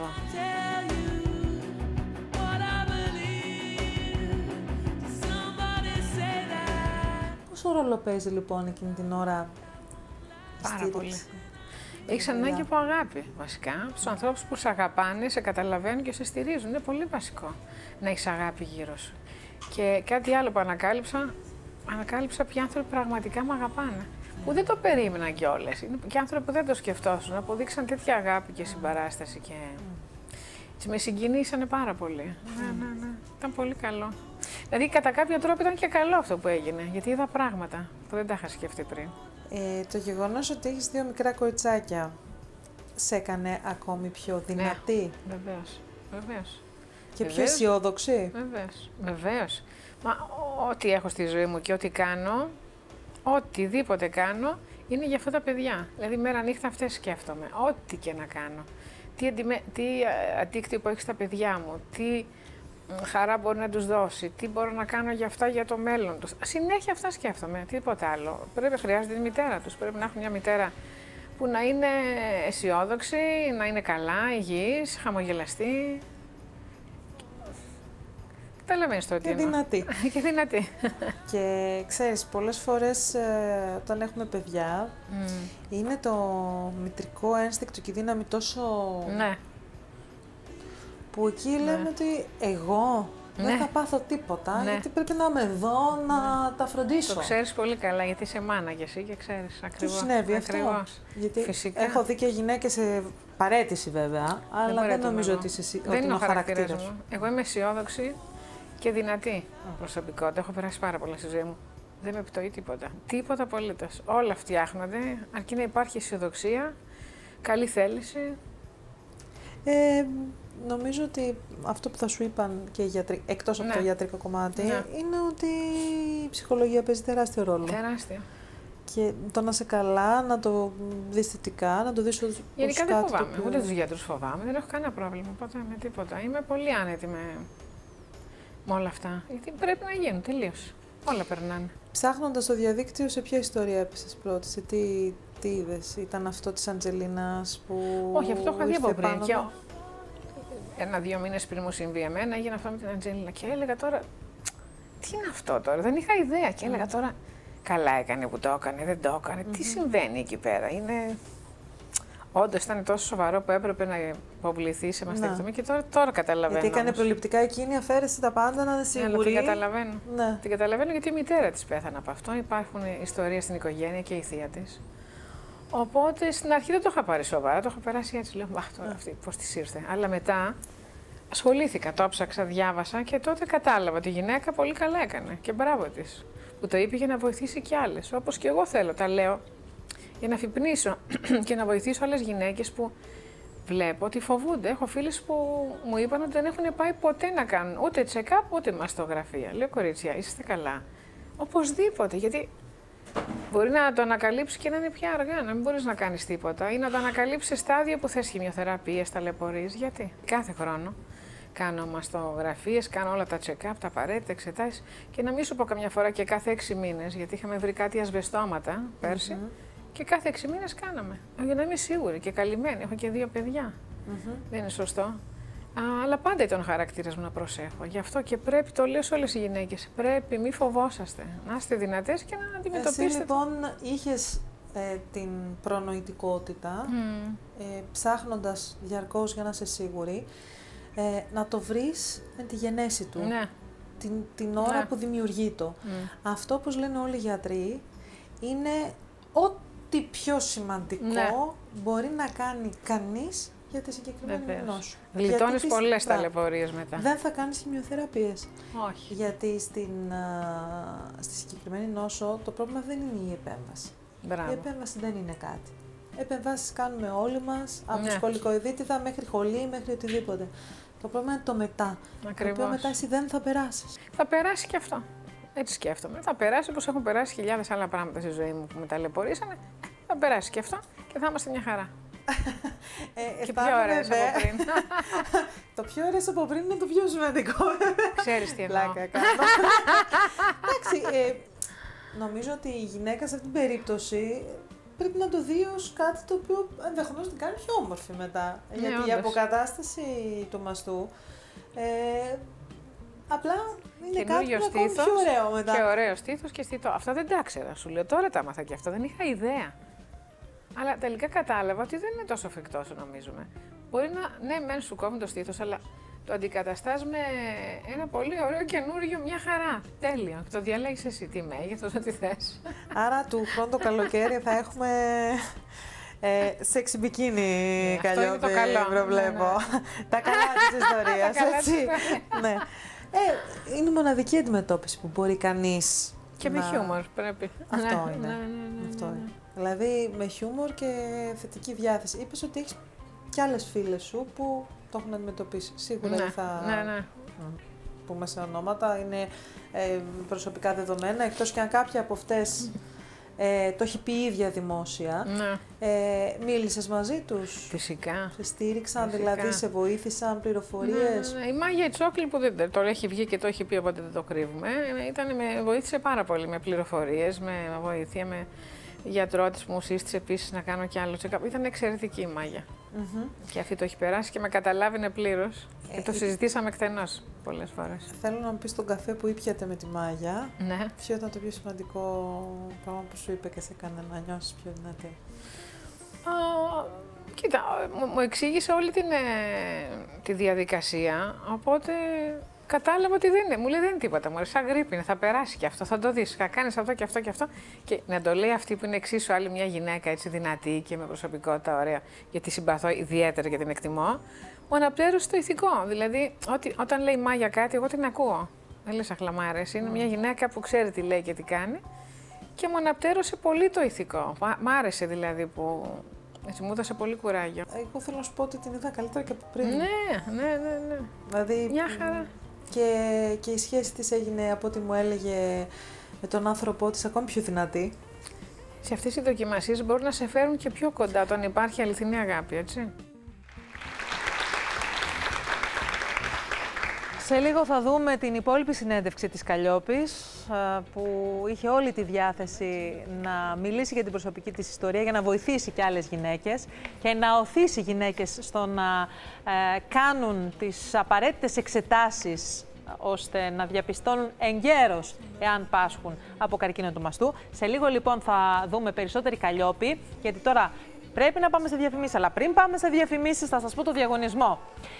Ο πιο γρήγορος κερδίζει το πιο όμορφο φθινοπορεινό σερβίτσιο.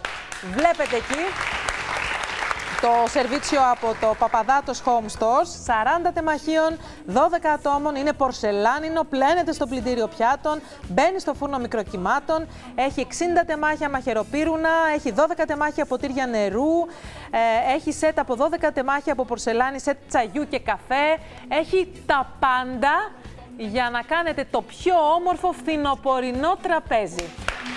Πώς θα κερδίσετε, 901-645-45, θα ακούσετε ένα μονοψήφιο αριθμό και όσο πιο γρήγορα μπα- μπορείτε θα τον πρι- πληκτρολογήσετε, βιάζομαι κι εγώ, στο τηλέφωνό σας. 901-645-45, καλή επιτυχία, ο πιο γρήγορος κερδίζει. If you wanna leave, I'm with it. Ah. Ο χρόνος που θα έρχεται για το διαγωνισμό δεν είναι πολύς και επειδή τώρα θα δούμε το υπόλοιπο μέρος συνέντευξης της Καλλιόπης σε λίγο, γι' αυτό θα σας ξαναδώσω τα τηλέφωνα, νομίζω για τελευταία φορά ή άλλη μία, δεν ξέρω, θα μου πείτε και αυτό. Άλλη μία, για πρώτη τελευταία φορά. Αυτό το υπέροχο σερβίτσιο λοιπόν από το Παπαδάτος Home Stores, το φθινοπορεινό αυτό πορσελάνινο σερβίτσιο, 60 ε, τεμαχίων ε, μαχαιροπύρουνων, 40 τεμαχίων ε, πιάτων, τα οποία να ξέρετε ότι μπαίνουν και στο φούρνο μικροκυμάτων, 12 τεμάχια ποτήρια νερού, κολονάτα, από φυσιτό παρακαλώ, χειροποίητο γέλι, και ένα σετ από 12 τεμάχια από πορσελάνη, σετ τσαγιού και καφέ. Τα πάντα λοιπόν για ένα υπέροχο τραπέζι. 901-645-45, ο πιο γρήγορος κερδίζει. Ε, αν πληκτρολογήσει όσο πιο γρήγορα μπορεί το μονοψήφιο αριθμό που θα ακούσεις στο ηχογραφημένο μήνυμα. Τώρα, πάμε να δούμε τη συνέχεια της συνέντευξης, της, uh, συνέντευξης της Καλλιόπης, της φωτογράφου, η οποία μας δίνει μαθήματα θάρρους και αισιοδοξίας.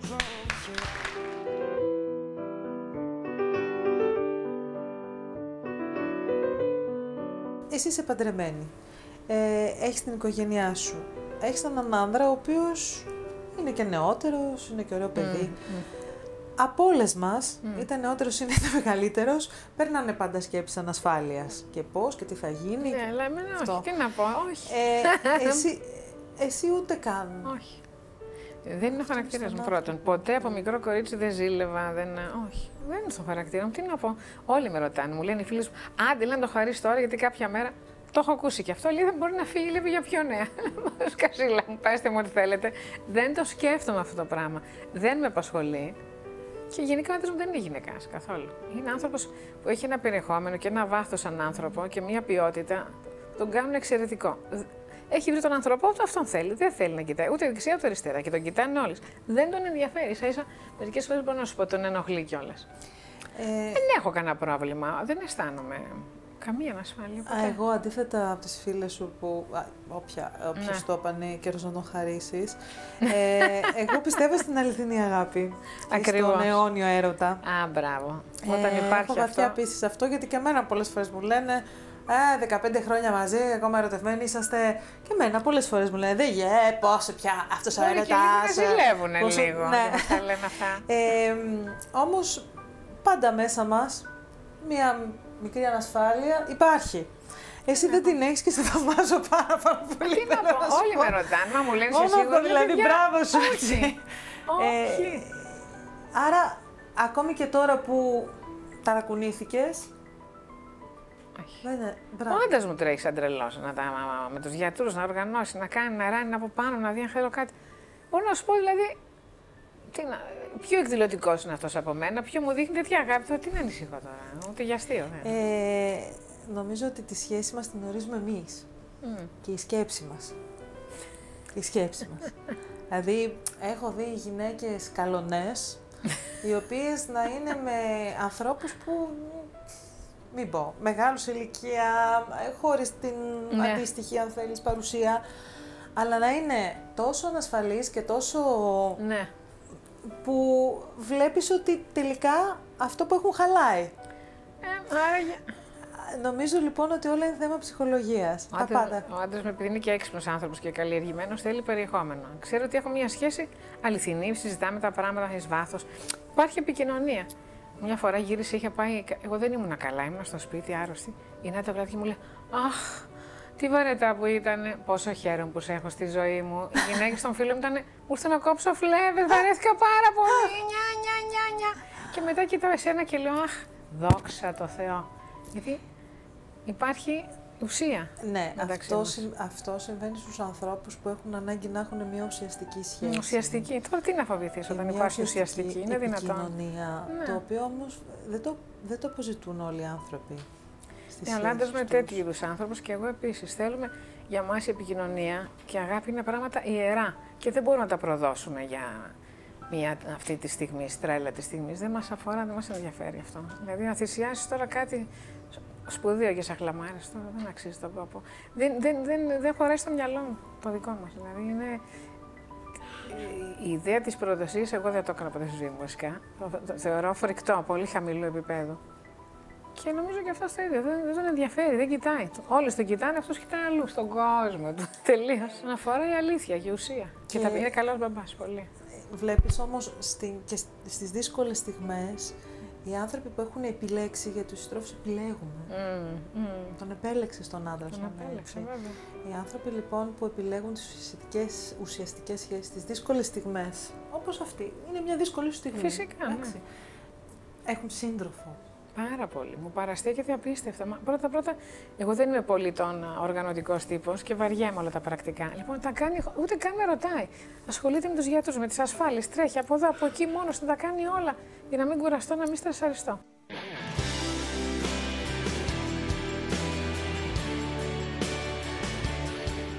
Πότε το έμαθες αλήθεια, είπες χρειάστηκε ένα μήνα, τι Ναι. ήτανε, ε, Ήταν Ιούλιος. Ήταν στη μέση των διακοπών σου, πριν φύγεις διακοπές; Ναι, πριν, πριν, πριν. Και λέω τώρα και μέσα στη ζέστη, πω, πω τι μου ήρθε, λέω. Μέσα στη ζέστη, μα. Αμάν, λέω, τι μου ήρθε τώρα μέσα στη ζέστη, τι είναι αυτό; Τρελή, τι μου ήρθε μέσα στη ζέστη, πρόσεχε το δεν υπάρχει. Μόνο έτσι. Έτσι πρέπει να το αντιμετωπίσουμε πια, έτσι. Σαν μια γρήπη, ό,τι σου Τώρα πει μάγια. γελάω, ναι. Ε, από την άλλη, βέβαια, για να δεις, ο κάθε άνθρωπος είναι διαφορετικός, έτσι. Τόσο διαφορετικός. δηλαδή, εγώ στη θέση του έλεγα, «Α, δεν πάω πουθενά, πάω τώρα να τελειώνω, να τελειώνω. Α, ναι. Ναι, ναι, Όχι, τώρα, εγώ τώρα. είπα να αν κάνω γίνεται κανένα αύριο. μπάνιο πρώτα. Αν μου Ω, λέγανε αλήθεια. μεθαύριο, θα τους έλεγα αύριο. Εσύ λοιπόν έκανες κανονικά διακοπές. Είπα, αφήστε με να ηρεμήσω. Με- Να κάνεις διακοπές με τα παιδάκια, με τα μπανάκια. Το με- χάρηκες όμως. Ναι. Δηλαδή μπόρεσες. Πρώτα θα χαλαρώσω, λέω. Ναι, ναι. ναι. Δεν είχε. Όχι, το ξέχασα. Το έβαλα στην άκρη. Τώρα λέω, κάνουμε άλλα πράγματα. Άστο αυτό εκεί να κάτσεις τα αυγά του και όταν είμαι έτοιμη. Πώς το κάνεις αυτό, Βρεκαλιό. Δηλαδή, έκανα. συγγνώμη, το έβαλες στην άκρη και έκανες πήγε στα μπάνια σου. Σε Πού πληροφορώ. πήγες διακοπές; Θα σου πω. Δεν το σκέφτηκα στιγμή όταν ήμουν στις διακοπές. Το, λέει το πρόβλημα δεν με απασχόλησε. Το έβαλα στην άκρη και πάπαλα. Και σκεφτόμουν να περάσω ωραία με την οικογένειά μου και πέρασα ωραία. Θαύμα. Πήγα λίγο στην Πάρο που σου είπα, μετά στη Σύμη. Περάσαμε πάρα πολύ ωραία. Χορτάσαμε θάλασσα ήλιο. Αυτό χρειαζόμουν. Εγώ να φορτίσω τις μπαταρίες μου, κατάλαβες με φως και ήλιο. Πριν κάνω αυτό το σημαντικό πράγμα. Μετά πήγα λίγο στη Νέα Υόρκη για τις δουλειές μου. Καλά, με παίρνουν οι φίλοι μου τηλέφωνο, μου λένε Βρε παιδάκι, μαμά, πού βρέθηκες εκεί πέρα; Υποτίθεται ότι θα έπρεπε να είσαι τέζα και να. Και εσύ μας τρέχεις δεξιά-αριστερά. Ακόμα και στη Νέα Υόρκη, μα είσαι τρελή τελείως. Τελείως όμως. και εγώ γέλαγα. Εντάξει. Έχω και δουλειές, δεν θα κάτσω να πέσω κάτω να κλαίω. Και κάτι το οποίο επίσης μου έκανε εντύπωση, επειδή εσύ έχεις ζήσει κυρίως στη Νέα Υόρκη. Ναι, Ε, το μεγαλύτερο 25 μέρο- χρόνια. Το μεγαλύτερο μέρος της ζωής σου το έζησε. Στη Νέα εκεί. Υόρκη, ναι. Ε, εγώ το, πρω- το πρώτο πράγμα που σκέφτηκα είναι επειδή οι περισσότεροι από εμάς όταν κάτι παθαίνουμε σκεφτόμαστε Α, να φύγω έξω. Αυτό δεν λέγαμε στους Έλληνας. Ναι, δεν χρειάζεται. Α, να φύγω έξω, α, να πάω έξω, να πάω. Εσύ θα μπορούσες να πας. Ναι, γιατί έχω ζήσει και είναι Εκεί; στο σπίτι, το σπίτι μου εκεί. Ξέρω είναι τους το πάντες, σπίτι τα σου, πάντα. φαντάζομαι έχεις την ασφάλειά σου εκεί. Ότι, ότι Θέλω να είναι σου το- πω κάτι όμως. Γιατί το κάνεις, Γιατί Πρώτον, επέλεξες την Ελλάδα. Γιατί για να κάνεις την ψάχνοντας το επέμβαση; κατάλαβα ότι είναι πάρα πολύ απλό. Όλη η διαδικασία είναι κάτι απλό και έχουμε εξίσου πολύ καλούς γιατρούς εδώ. Σε αυτό το θέμα δεν χρειαζόμουν τίποτα παραπάνω. Αν το έκανα, θα το έκανα από φόβο. Α, οι Αμερικάνοι καλύτεροι. Όχι, σε αυτό το κομμάτι και οι Έλληνες είναι πάρα πολύ καλοί. Λοιπόν, θέλω να το ζήσω εδώ με τους ανθρώπους μου, με τους φίλους μου, με την οικογένειά μου. Είναι όλοι εδώ. Και έχει σημασία. Θέλω να είμαι εδώ. Θέλω να είμαι στην Ελλάδα. Αυτή τη στιγμή νομίζω έχει μεγάλη σημασία όλοι να. για- Επειδή περνάμε και δύσκολα έτσι. Η Ελλάδα περνάει, είναι η πατρίδα μας. Δύσκολες στιγμές. Εδώ θα τη στηρίξουμε με όλους τους τρόπους. Μια χαρά είμαστε και εδώ. Όλα θα γίνουν. Σ' αρέσει πάρα πολύ να, να προβάλλεις την Ελλάδα και Πολύ. να την προβάλλεις στο Πολύ. Εξωτερικό. Και στην τελευταία σου δουλειά Μμ. τώρα που ετοιμάζεις και η οποία Μμ. θα κυκλοφορήσει έξω στην Ελλάδα σε κάνα χρόνο. Μμ. Το ίδιο Πάλι με την πράγμα Ελλάδα έχει να κάνεις. κάνει με νέα παιδιά, με τη νέα γενιά. Και τους τα αφιερώνω κιόλας. Γιατί λέω ότι είναι το μέλλον μας και η ελπίδα μας. Οπότε το έκανα για αυτού. Και έχεις φωτογραφίσει νέα παιδιά. Ναι, νέα ναι. Σε ένα πρόσωπα. χρόνο θα, θα κάνουμε εδώ ένα μεγάλο ε, αυτό, opening. Θα, θα ακούσετε γι' αυτό. Πολύ ωραίο. Και θα έχουμε και νέο ντεκολτέ. οπότε θα φοράμε και λίγο πιο σεξι φορέματα Ω, στις καλά, συνεντεύξεις. τέλεια. Τέλεια θα είμαστε. Θα είμαστε, ξέρεις, λίγο πιο... ναι. Ναι, θα είμαστε στα πάνω μας. Μπράβο, βρε Καλλιόπη. Είσαι... Νομίζω ότι... Αισιοδοξία. δεν- Ναι. Και δύναμη. Ειδικά, ειδικά για το θέμα που επέλεξες να μιλήσεις. Ναι. Δεν νομίζω ότι θα μπορούσα να σκεφτώ κάτι καλύτερο. Ε, είναι πια πάρα πολλές οι γυναίκες, το είπες και εσύ. Είναι και πολλές Ναι, φίλες μου πολλές. που δεν το είχα συνειδητοποιήσει. Ναι, είναι ναι, πάρα πολλές οι πολλές. γυναίκες γύρω μας. Απίστευτα, Και, και πιτσιρίκες πάρα πολλές. Είναι όντως, ναι, ναι. Και τριαντάρες φουλ. Μα Είναι επίσης, απίστευτο, που- ναι, αυτό που συμβαίνει. Το τι είναι και πώς και γιατί δεν, δεν μπορούμε να ξέρουμε. Ίσως αλλά είναι η ατμόσφαιρα πια, είναι διάφοροι παράγοντες που συντελούν σε αυτό. Που συντελούν. Αλλά αυτό που θέλω να πω επίσης, ε, έχει μεγάλη σημασία και το κατάλαβα και προσέχω πάρα πολύ. Τη διατροφή μου, να τρως υγιεινά, έχει μεγάλη σημασία. Να τρως ε, πράγματα υγιεινά, να μην τρως αηδίες. Να, ώστε να έχεις α, ε, δυνατό νοσιοποιητικό. Όταν έχεις δυνατό νοσιοποιητικό, πιο δύσκολο να σε, να σε επιτεθούν ε, αρρώστιες. Πρέπει να είμαστε δυνατοί, να τρώμε σωστά, να έχουμε γε- βιταμίνες, ε, γε- γερό οργανισμό. Και το κάνω όλα αυτά εγώ τώρα, τα κάνω.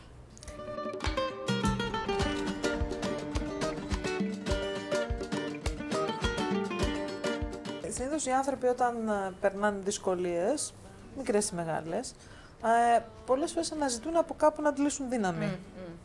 Άλλοι από τη θρησκεία, άλλοι από την οικογένεια, άλλοι από τον ίδιο τους τον εαυτό. Εγώ από από τον μέσα. εαυτό μου πάντως.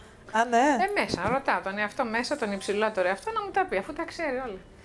Όλοι μας το έχουμε, δεν είμαι μόνο εγώ. Όλοι έχουμε μέσα έναν, μεγα- έναν ανώτερο εαυτό που αν, αν μπούμε στον κόπο να το ρωτήσουμε είναι πάρα πολύ απλό. Θα μας πει την αλήθεια. Είναι πολύ, πολύ απλό. Όταν λες νο- ε, ρωτάω τον ανώτερο υψηλότερο εαυτό μου, εξήγησέ το μου ρωτάω. αυτό λίγο. Το ρωτάω. Καλά, πρέπει να χαλαρώσει λίγο. Μπορεί να κάνεις και διαλογισμό που έχω κάνει εγώ και τέτοια όλα. Και ρωτάς. Μέσα σε απόλυτη ησυχία, όταν ρωτήσεις τον εαυτό σου πραγματικά με σεβασμό και, με... και ταπεινά, θα στη δώσει την απάντηση, θα έρθει ακριβώς όπως πρέπει να έρθει. Αλήθεια σου λέω, δεν χρειάζεται να ρωτήσεις κανέναν άλλον. Τα ξέρει όλα. Αυτά είναι κλειδιά του διαλογισμού νομίζω. Είναι Ναι. εργαλεία, κλειδιά Είναι που και μπορεί αυτό, να σου ναι, προσφέρει ναι. ε, ο διαλογισμός. Πού έχεις κάνει στη... Στην Αμερική. Χρόνια έκανα. Χρόνια. Είναι πολύ καλή σε αυτά οι Αμερικάνοι, πολύ προχωρημένοι. Μίλησέ μου λίγο γι' Καταλαβαίνουν αυτό. πολύ όλα αυτά τα πράγματα. Μίλησέ μου γι' αυτό, γιατί... Εγώ από παιδί ψάχνομαι γενικά. Είχα αυτή την τάση από Ενδιαφέρει. μικρή στα πνευματικά. Μμμ. Διάβαζα πάρα πολλά βιβλία, άρχισα να διαβάζω από μικρή βιβλία που έχουν με, σχέση με μεταφυσικά και πνευματικά. Και ήθελα να μάθω την αλήθεια, τι κάνουμε εδώ, ποιοι είμαστε, τι συμβαίνει. Να Μμμ. μάθω τον εαυτό μου, αυτό το γνώθησε αυτών των αρχαίων Ελλήνων, τι είναι. Τα ήθελα πάρα πολύ όλα αυτά να τα, να τα καταλάβω. Ήθελα να εξελιχθώ. Επειδή ο διαλογισμός δεν είναι κάτι ευρέως γνωστό στην Ελλάδα και διαδεδομένο. Μίλησέ μας λίγο γι' αυτό. Κοίτα, ζούμε σε εποχές που υπάρχει τεράστιο στρες σε ό,τι κάνουμε, έτσι. Ε, ο διαλογισμός σε μαθαίνει να μπαίνεις μέσα στον εαυτό σου, να χαλαρώνεις τελείως, να φεύγεις από, από οτιδήποτε άλλο και να είσαι στην απόλυτη ηρεμία μέσα. Κάθεσαι, μπορεί να καθίσεις. Στην αρχή μπορεί να κάνεις 10 λεπτά, μετά 20, μετά μπορεί να φτάσεις και μία ώρα. Και είσαι σε τέλεια ησυχία μέσα στον εαυτό σου. Μπορεί για βοήθεια να σκεφτείς κάτι. Υπάρχουν τεχνικές. Μπορεί να κοιτάς ένα, ένα κερί. Μπορεί να σκέφτεσαι μερικά χρώματα. Υπάρχουν τεχνικές που ακολουθείς ώστε να βυθιστείς μέσα στο στάδιο Α που λέγεται αυτό. Όπου πλέον τίποτα άλλο δεν σε αγγίζει. Υπάρχει έτσι μια γλύκα και μια ηρεμία και όταν βγεις από αυτό αισθάνεσαι αχ, μια ανάταση, μια γαλήνη. Κάνει πολύ κακό, στο... πολύ κακό λέει, συγγνώμη, πολύ καλό στον άνθρωπο. Ειδικά επειδή ζούμε μέσα σε στρες και όλα αυτά. Σε φέρνει σε ηρο- ισορροπία με τον εαυτό σου, σε επαφή με τον εσωτερικό σου κόσμο, σε ηρεμεί. Νομίζω ότι πρέπει να κάνουμε μια συνέντευξη μετά τη διαδικασία, όταν θα έχει ολοκληρωθεί και όταν θα έχουν όλα τελειώσει. Γιατί θα ήθελα πάρα πολύ να μου μιλήσεις για όλο αυτό που στο έζησες Ναι, ναι, μετά. ναι, βεβαίως να σου πω ό,τι θέλεις. Δηλαδή το, όλο αυτό το συνέστημα ε, και το τι αισθάνεται μια γυναίκα σαν και σένα όμως. Όχι η γυναίκα που θα φέρει την καταστροφή και το δράμα. Α, πα, πα, πα, πα. Ε, η γυναίκα η οποία λέει, OK, cool, πάμε να δούμε, το διαχειριστούμε. Να πρέπει να παίρνουμε τη ζωή στα χέρια μας, όχι να αφηνόμαστε έρμεα. Πρέπει να κρατάμε τα ηνία. και επίσης θέλω να σου πω ένα τελευταίο πράγμα για το διαλογισμό. Επίσης, αν. Διαλογισμός μπορεί να είναι και το να κοιτάς τη θάλασσα. Να κάτσεις στη θάλασσα να την κοιτάς μία ώρα εκεί. Να μην, να μην σκέφτεσαι τίποτα άλλο όμως. Ή ένα λουλούδι. Κάτσε και κοίτα το λουλούδι εκεί 50 ώρες. Συγκεντρώσω όμως το λουλούδι. Και είναι διάφορες ε, τεχνικές. Μμμ. Αυτή είναι, είπα τώρα κάτι πολύ απλό για να καταλάβει Δεν είναι καθόλου απλό να μπορείς να δεις για αρκετή ώρα τη θάλασσα χωρίς να σκεφτείς κάτι άλλο. Ε, μα σιγά σιγά σιγά. Ναι. Γίνεται; Το Σου χωρίς. Ξεφεύγει από εδώ, σου ξεφεύγει Δεν από εκεί, το, γίνεται. Ξανα... Ε, το ξανατραβάς προς τα πίσω και ξανά πάλι. Και... Αλλά θα δεις σιγά σιγά σιγά. Ο- Χρειάζεται λίγο practice. Μετά όλα αρχίζουν και τακτοποιούνται εκεί που Να πρέπει σε να είναι. ρωτήσω κάτι. Εικάζω ότι με αυτές τις τεχνικές πρέπει να κοιμάσαι και πολύ εύκολα Ναι, ναι. το βράδυ. Ναι, ναι. Και αυτό πριν κοιμηθείς, κάνεις μερικές ασκησούλες και. Και απ, αμέσως. Κοιμήθηκες τώρα και στις διακοπές. Ναι, ναι, μια χαρά. Παρόλο που ήξερες τι είχες. Κοιμόσουνα. Ούτε καν το σκεφτόμουν.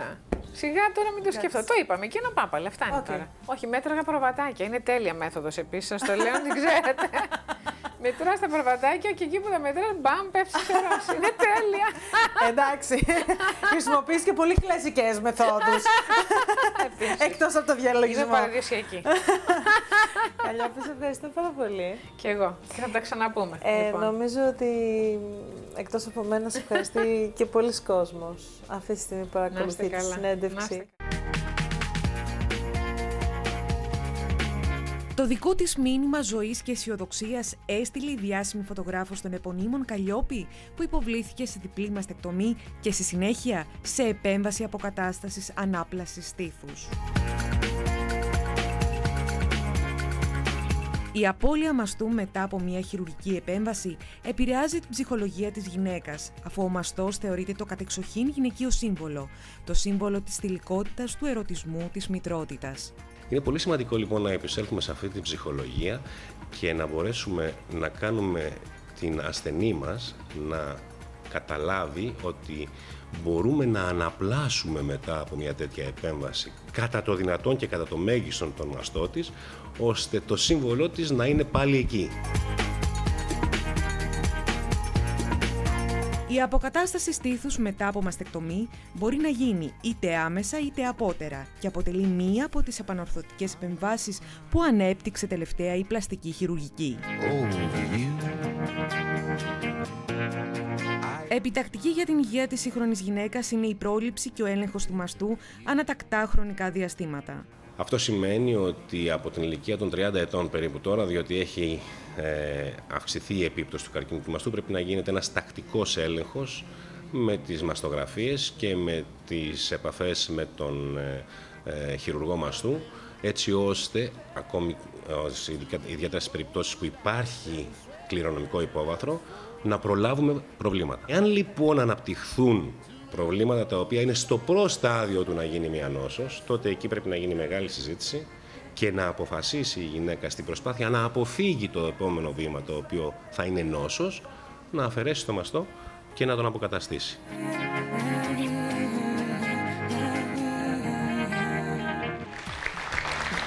Εγχείρηση πήγε πάρα πολύ καλά.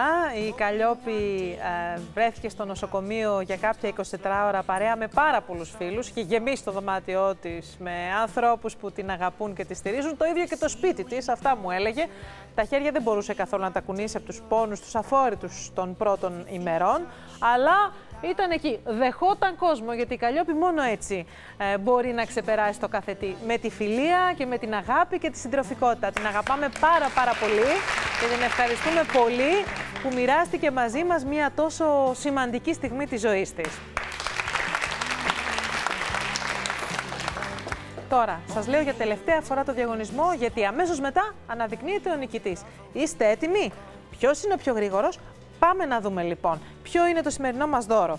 Αυτό το καταπληκτικό φθινοπορεινό τραπέζι με ένα σερβίτσιο 12 ατόμων, 40 τεμαχίων από πορσελάνη που πλένονται στο πλυντήριο πιάτων και μπαίνουν σε φούρνο μικροκυμάτων, 60 τεμάχια μαχαιροπύρουνα με ακριλική λαβή και ανοξίδωτο ατσάλι, 12 τεμάχια ποτήρια νερού κολονάτα από φυσιτό χειροποίητο γυαλί και σε 12 τεμαχίων από πορσελάνη του τσαγιού και του καφέ.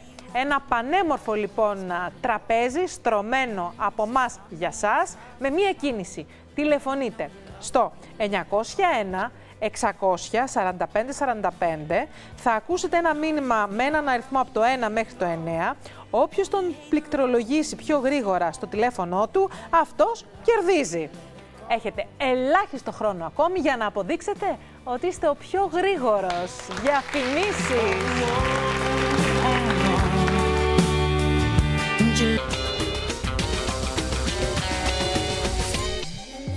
Πάμε να δούμε ποιος κέρδισε το πανέμορφο σερβίτσιο σήμερα. Ποια είναι η πιο γρήγορη, πιο γρήγορος. Χριστίνα Κουλομπούρου; Ο, θα φάτε σε αυτό το υπέροχο σερβίτσιο εσείς και οι φίλοι σας. Να είστε όλοι καλά. Ένα καλό απόγευμα αύριο στις 5 παρατέταρτο.